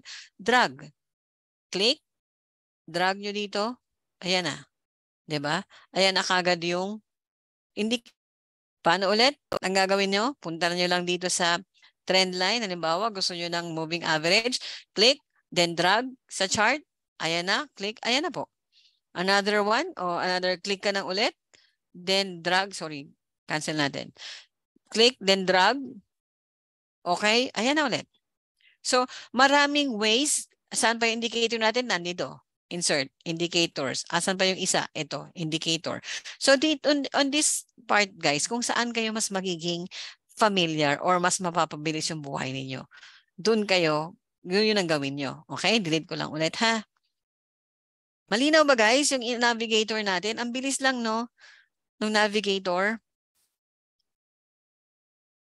Naintindihan po ba? Then expert advisor guys. Ayan. Nakakatuwa tong expert advisor na to. So, uh, Itong expert advisor guys, kung meron, actually may naka-default dyan, pero never ko pang ginamit, no? Pero kasi sa iyo, hindi pa talaga ako masyadong gumagamit ng uh, indicator. Ay, sorry, ng robot, no? Expert advisor. So pag ginamit mo to guys, may default siya. I-click mo lang siya. Click mo. Ayan. Ang gagawin mo lang dyan is allow trading ka. Then allow, check nyo lang to guys ha. Nung kinlek ko yung MACD, na pinaka-default ng ro uh, robot ng MT4, meron siyang smiley dito pero sad siya. So ang gagawin mo lang, allow the live trading, allow DL, DLL imports, then okay mo siya. Nakasad pa din siya. Bakit? Kasi hindi pa rin siya nagpa-function. Kailangan mo pang pindutin ang what? Auto trading. Ayan, smiley na siya nakasmile na siya. Ibig sabihin, magpa-function na yung robot natin or yung EA natin. Huwag na natin siyang i-close. Subukan natin kung magte-trade yung EA habang nagdi-discuss tayo. Okay? Then sa scripts, ito naman yung guys na example, ito yung gumagawa na nagko-codes na to. So, wag na nating alamin kasi hindi rin ako marunong nun. Okay? So, basta yan, sa mga nagko-coding na yan, Pastor Shem. So, yan, ganyan yon So, pwede na kayo mag-aral or pwede kayong tumingin para mapag-aralan nyo kung paano nila ginawa. Okay, so yan po ang navigator. Okay? Guys, malinaw ba tayo? Malinaw pa? Tama po ba? Malinaw pa po tayo? Ayan, malinaw pa daw. Naintindihan pa, guys. Oh, okay, thank you. Basta pagka may tanong pa kayo ha, kaya naman sagutin niya ni Ma'am Kat. Pwede rin disable pag huwag bawas sa interest. Hindi po, Sir Melesio, automatic po yan. Hindi po na-disable yan. Uh, actually, uh, we do, oh, sabi ko nga nung last Wednesday, uh, Monday, di ba, we do offer swap-free accounts. Pag sinabing swap-free, uh, uh, hindi kayo magkakaroon ng overnight charges. Pero those uh, accounts po are that account is only offered to Muslims lang po na clients. Okay? Kasi meron po silang rule na hindi po sila naniniwala or hindi sila pwedeng ma-charge ng interest, something like that. Okay? Malinaw? Okay. So guys, bago tayo pumunta sa uh, terminal, I would like to uh, show you how to customize yung kulay ng inyong chart. So far, ako po ang ginagamit ko from the time nag-start ako. Click nyo lang po yung chart ninyo. Then properties. Ayan. So ito pong black yung foreground, uh, background natin. Yung foreground is white. So far, pag pinalitan po natin yung white, halimbawa red, masakit po yan sa mata kasi yan na po yung price. So far, let's just uh, stick dun sa white. Then, yan po yung ginagamit ko ha. It depends po sa inyo kung anong gagamitin niyo. Yung grid po, I always do in, uh, use red. Kasi yan po yung magiging as line po natin no later. As line po, uh, green, uh, papalitan din po natin yan later. So, kapag uh, ito pong bar up, ito po yung uh, up, meaning uh, naka, naka ano po tayo, naka buy. So, I will always use po yung line. Okay po? Then kapag uh, idodoble ko din po yung bar up doon sa bull candle kasi up nga din po siya. No? Pareho lang din po yung ilalagay ko doon. Yun po yung ginagamit ko. Then sa bar down, dahil nga po down or sell, mas familiar po ako sa sell na or sa red. Then sa bar candle, red din po ang gagamitin ko. So pagdating naman po doon sa uh, tawag dito sa ast line natin, uh, ginagamit ko po is green kasi po yun sa buy, byline natin eh. As, buy on as, di ba? So green po yung gagamitin natin. Lime din po actually. Ayan. Then stop levels natin is ginagamit ko po usually is yellow. Okay?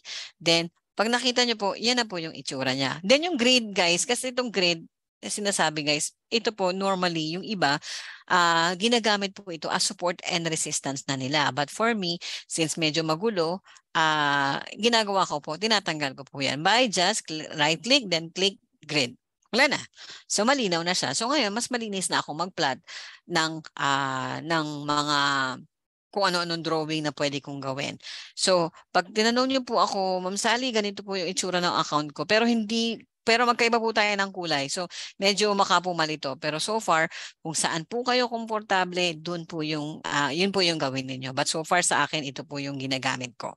Okay, yung iba white, yung iba iba-ibang kulay, kulay. Kasi parang naapektuhan doon yung emotions nila pagka red na parang ano, may mga ganun ano. So depende po, nasa inyo pa rin. So at the same time, sabi ko nga sa inyo, yan po, yan lang po ang itsura ng chart ko and then maglalagay lang po ako ng indicators. At least to show you guys, ito po ang ginagamit kong indicators ha. At least ayan. Din po tayo sa trend. Ito po ang aking ginagamit. Ah, sorry, hindi yan. Ayoko niyan. Dito tayo, mas mabilis. Moving average po ang gamit ko. Ayan. So, ganyan po ang itsura. Ganyan na ganyan po. Ito po yung tagang itsura na ginagamit ko. Then, where is parabolic SAR? Ayan. Yan po. Hindi ko po i-explain ulit ha kung bakit po yan ang pinili ko. At yan din po ang gamit kong ano, uh, indicator. Ayan. So yan po ang itsura ng aking chart on a daily basis. Yan tatlong yan ang ginagamit ko po. Okay? So, uh, move forward, doon na po tayo sa, uh, pero palis, alisin ko po ha, para at least alisin ko yung aking ano, indicator. Para plain lang muna tayo. Ayan. Then, punta na po tayo sa terminal. Ayan. Malapit na tayo kahit pa paano. Uh, I know matatapos tayo on time. Ayan. Okay. Sa terminal, guys, oh, ayan. Wala tayong trade eh. Ah, pakita lang natin. Sige, mag-trade tayo ng kahit ano lang. Uh, let me go to. Okay. Sell. Ayan, hindi na naman tayo naka-ano. Tapos, mag-buy din tayo. Ayan. Para lang meron tayong nakikita. Ayan. Again, yung balance under trade, yung balance po is yung capital na nag-start tayo nang wala pang tinitrade sa account. Yan po yung balance, okay? Then equity, ito po yung amount or existing amount or current amount na meron tayo na balance less or minus or plus or minus ng profit or losses natin. Again, equity is, ba is equivalent to balance plus or minus ng meron tayo sa profit natin dito. Okay?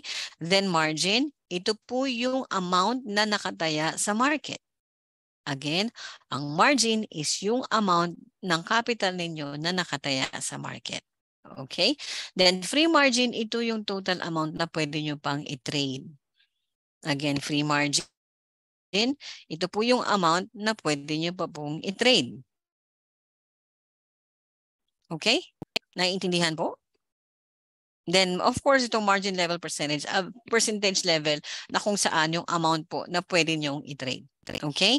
Malinaw po ba tayo? Sa trade, malinaw? Parang wala nang sumasagot. Guys, okay pa po tayo? Naiintindihan pa ba? ba? Naririnig pa ba ako? Andyan pa po ba kayo? Mabagal lang siguro yung ano ko. Ayan, malinaw naman daw. Ma'am, yung 25 saan makikita sa actual? Ano ibig sabihin ng 25? Ano, Sir Melesio, yung ibig sabihin ng 25? Parang ako yata yung nagulo dun. Meron ba akong pinakitang 25? Margin ma'am na 25. Ah, ito. Ito po yung nakataya sa atin, sir. Ito po yun, no? Oh. Nakataya sa account niyo.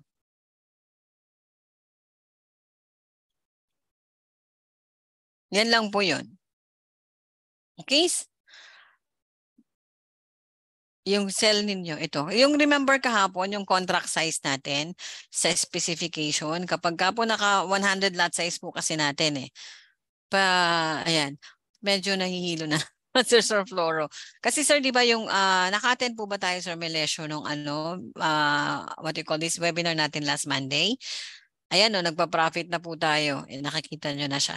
Ayan. So, pagka nag, yan SL and TP, pag reach niya nagpupula or nag-green. Okay? So, ayan. Pareho po nagpa-profit siya. Okay. So, nasa na tayo? Ayan. Account, uh, Sir Melesio, I will send you, uh, send me your email ad po uh, leave uh, iwan nyo po sa amin or mag-message po kayo ng uh, email ad para may send yung ating webinar last Monday para po mai nakita nyo po kung ano po yung margin natin, kung paano natin nagawa yon because of the leverage na meron tayo. Okay? Uh, ilang uh, may question tayo. Ilang trades po yung recommended nyo para sa mga beginners? Actually, uh, Miss Anonymous attendee, ang pagte-trade po kasi ang ina ang ina ang sinasuggest ko po is trade po ba ng ilang pirasong trades or ilang execute ng trades or currency po ang tinatanong natin. Kapag currency po, I, uh, I suggest one to two currencies and then study po yung behavior ng character or behavior po ng instrument na yon or ng currency para mas maintindihan po natin. Then kung ilang amount of trades, depende po sa appetite or depende sa capital ninyo. Kung kaya naman po ng marami, why not?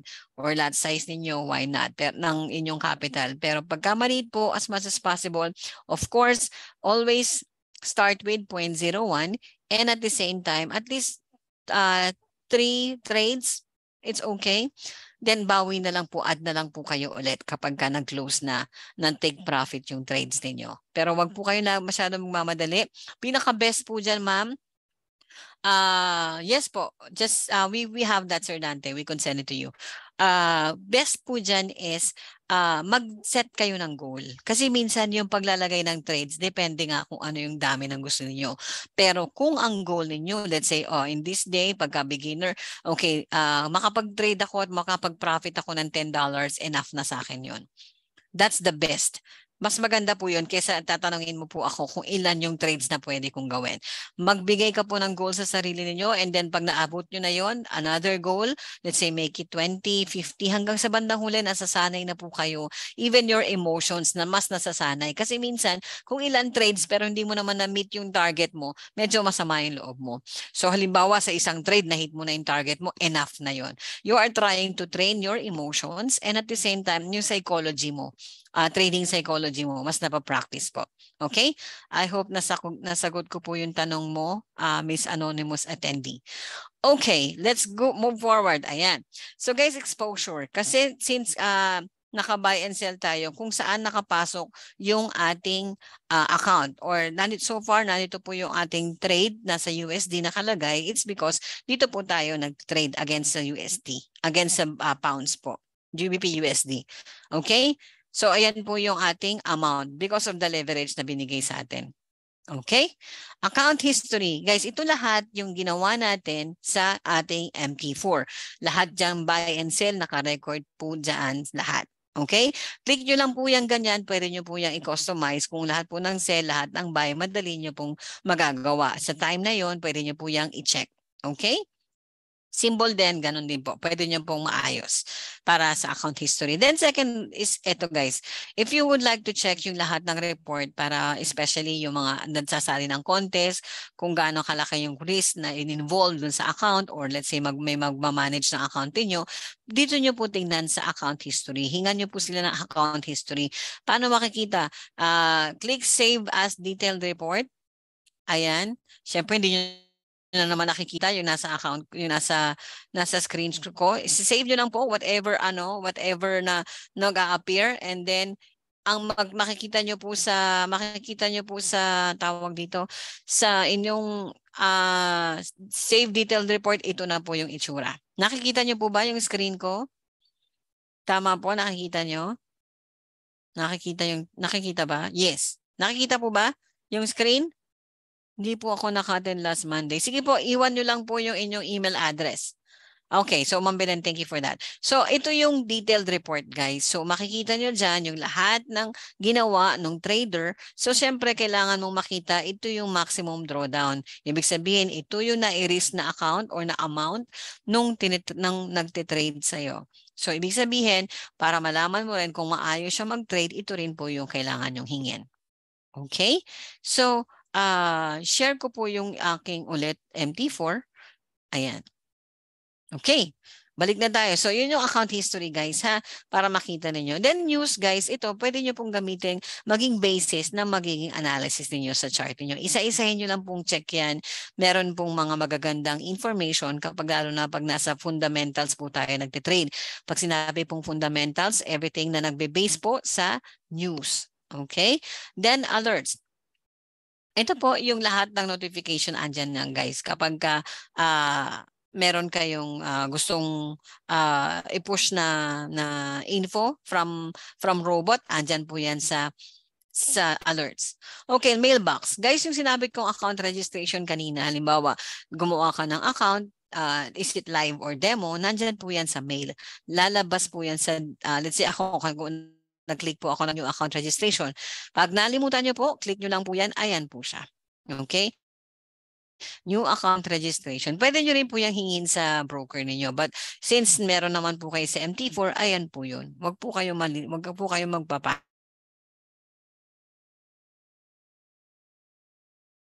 Nandyan po MT4.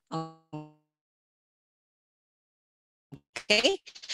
Guys, uh, ito yung login natin, password. Guys, yung difference na just a quick explanation. Okay na, nawawala na naman ako. So, yung password, pag sinabing password, master password tawag dyan. Ibig sabihin po, may chance, uh, sasagutin ko po yan, tapusin ko lang po ito, Sir Ronzal. Ah, uh, uh, ano nga ulit yun? Ayun, yung master password guys. Ito yung pwede kang mag-trade. Ibig sabihin, magagalaw mo yung account mo, lahat walang, uh, lahat magpa-function yung, yung, yung, yung button, ganyan. Pag naka-master password ka. Pero pagka naka-investor password ka guys, ibig sabihin, limited ka, parang monitoring ka lang. Nakikita mo or naka-read only ka lang. Hindi mo magagalaw yung trade, yung close or what. Mostly, mo, um, uh, mostly guys, itong investor password binibigay sa mga investor. Ibig sabihin, investor, hindi mo pwedeng galawin yung account. Kasi minsan, pagka yung investor nakikita niya yung account, pagka may negative or positive, i-close nila pag positive. Pagka negative, ninervous na sila, mag-add sila ng trade kung marunong ha. That's why ibinibigay ito sa uh, what you call this, uh, sa mga investor. Kung meron din gusto mag-manage sa account nyo, hingan nyo ng account, hingin nyo investor password para makita nyo kung, kung ano yung appetite niya or yung account history na sinabi ko. Okay? Malinaw po?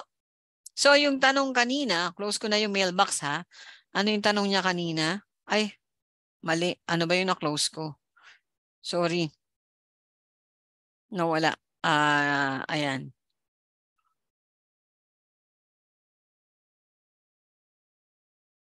Nakikita ba guys? Stop share nga muna ako.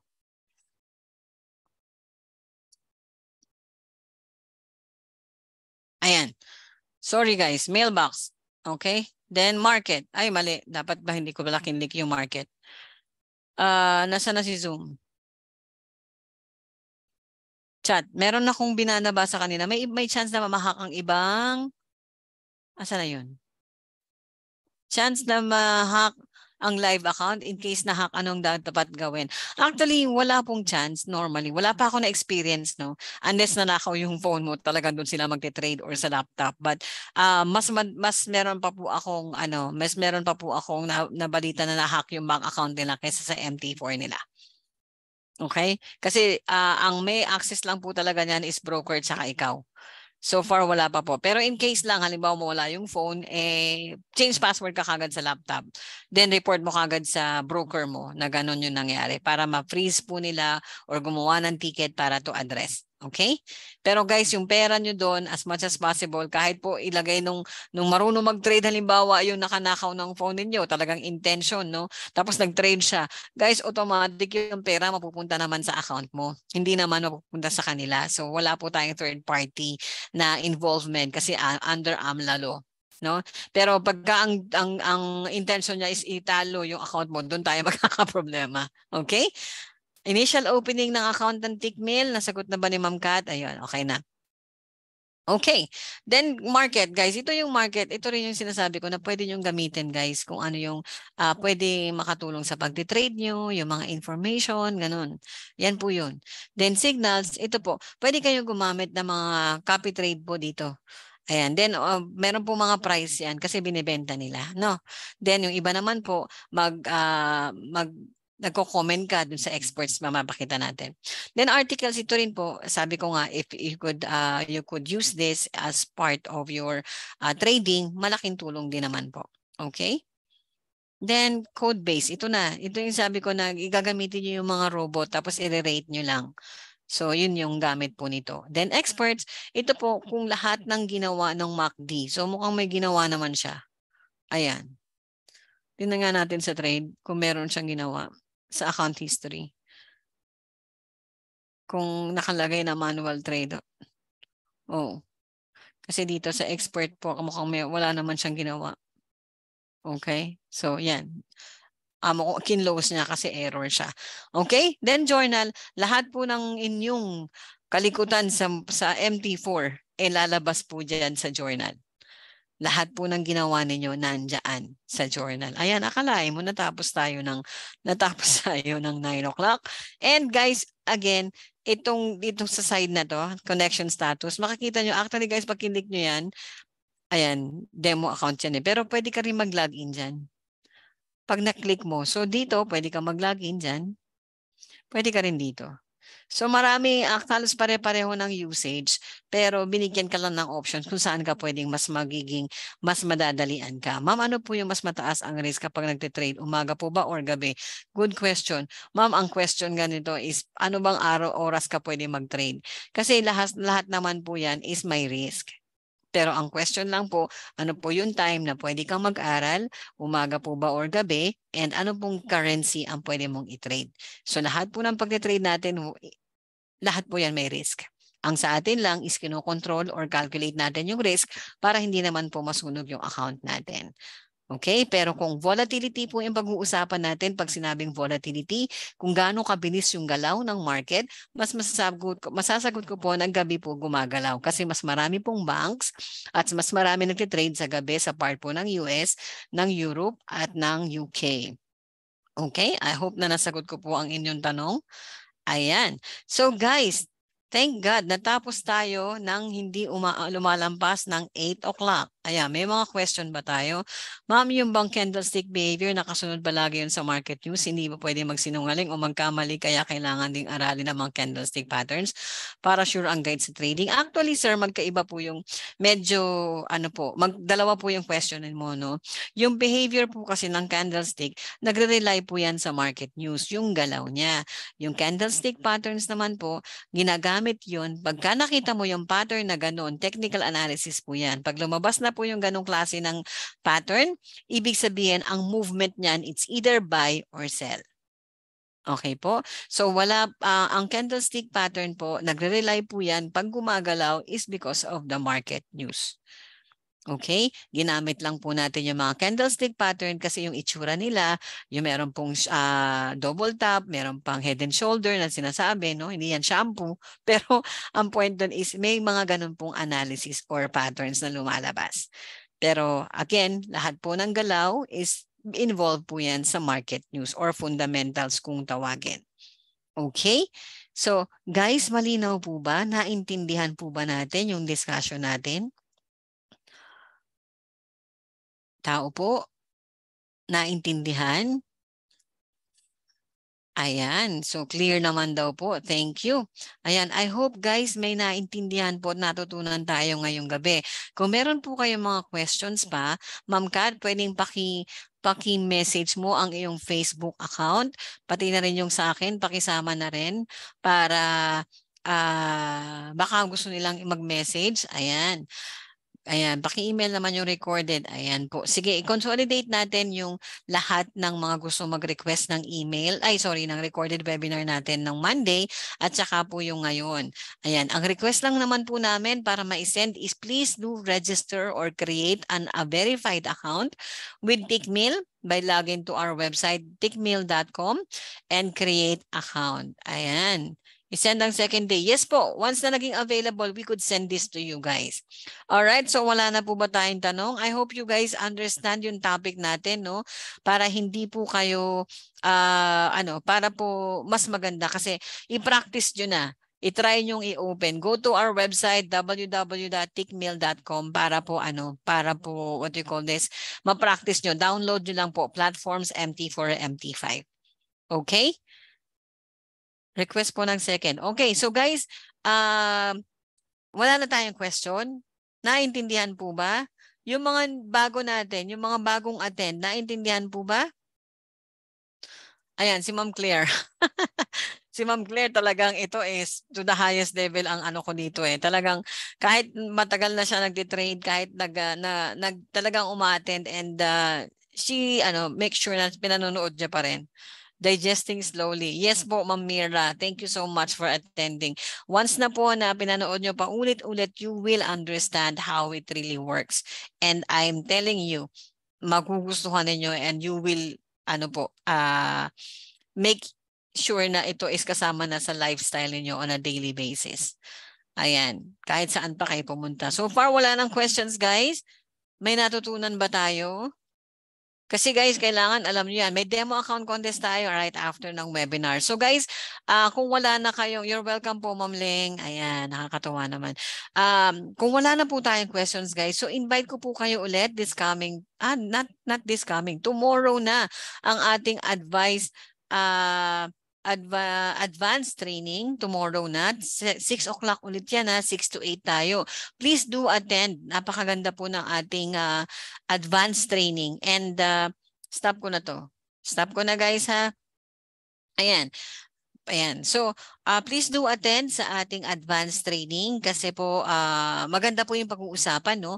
And isa po yung sa, sa guest speaker natin is one of my mentor, si Sir Nathan Jinson. So, I, I'm inviting you the same time, same time po, same channel, same link.